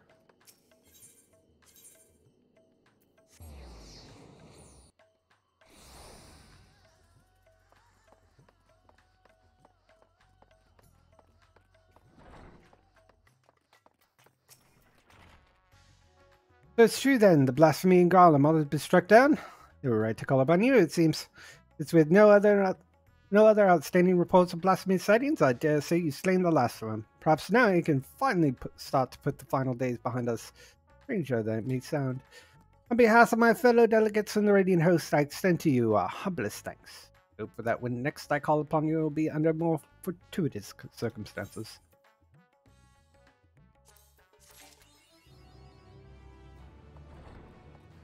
Ugh. I have a whole bunch of stuff in my bags. I really need to like sort things out. One of these days. More food.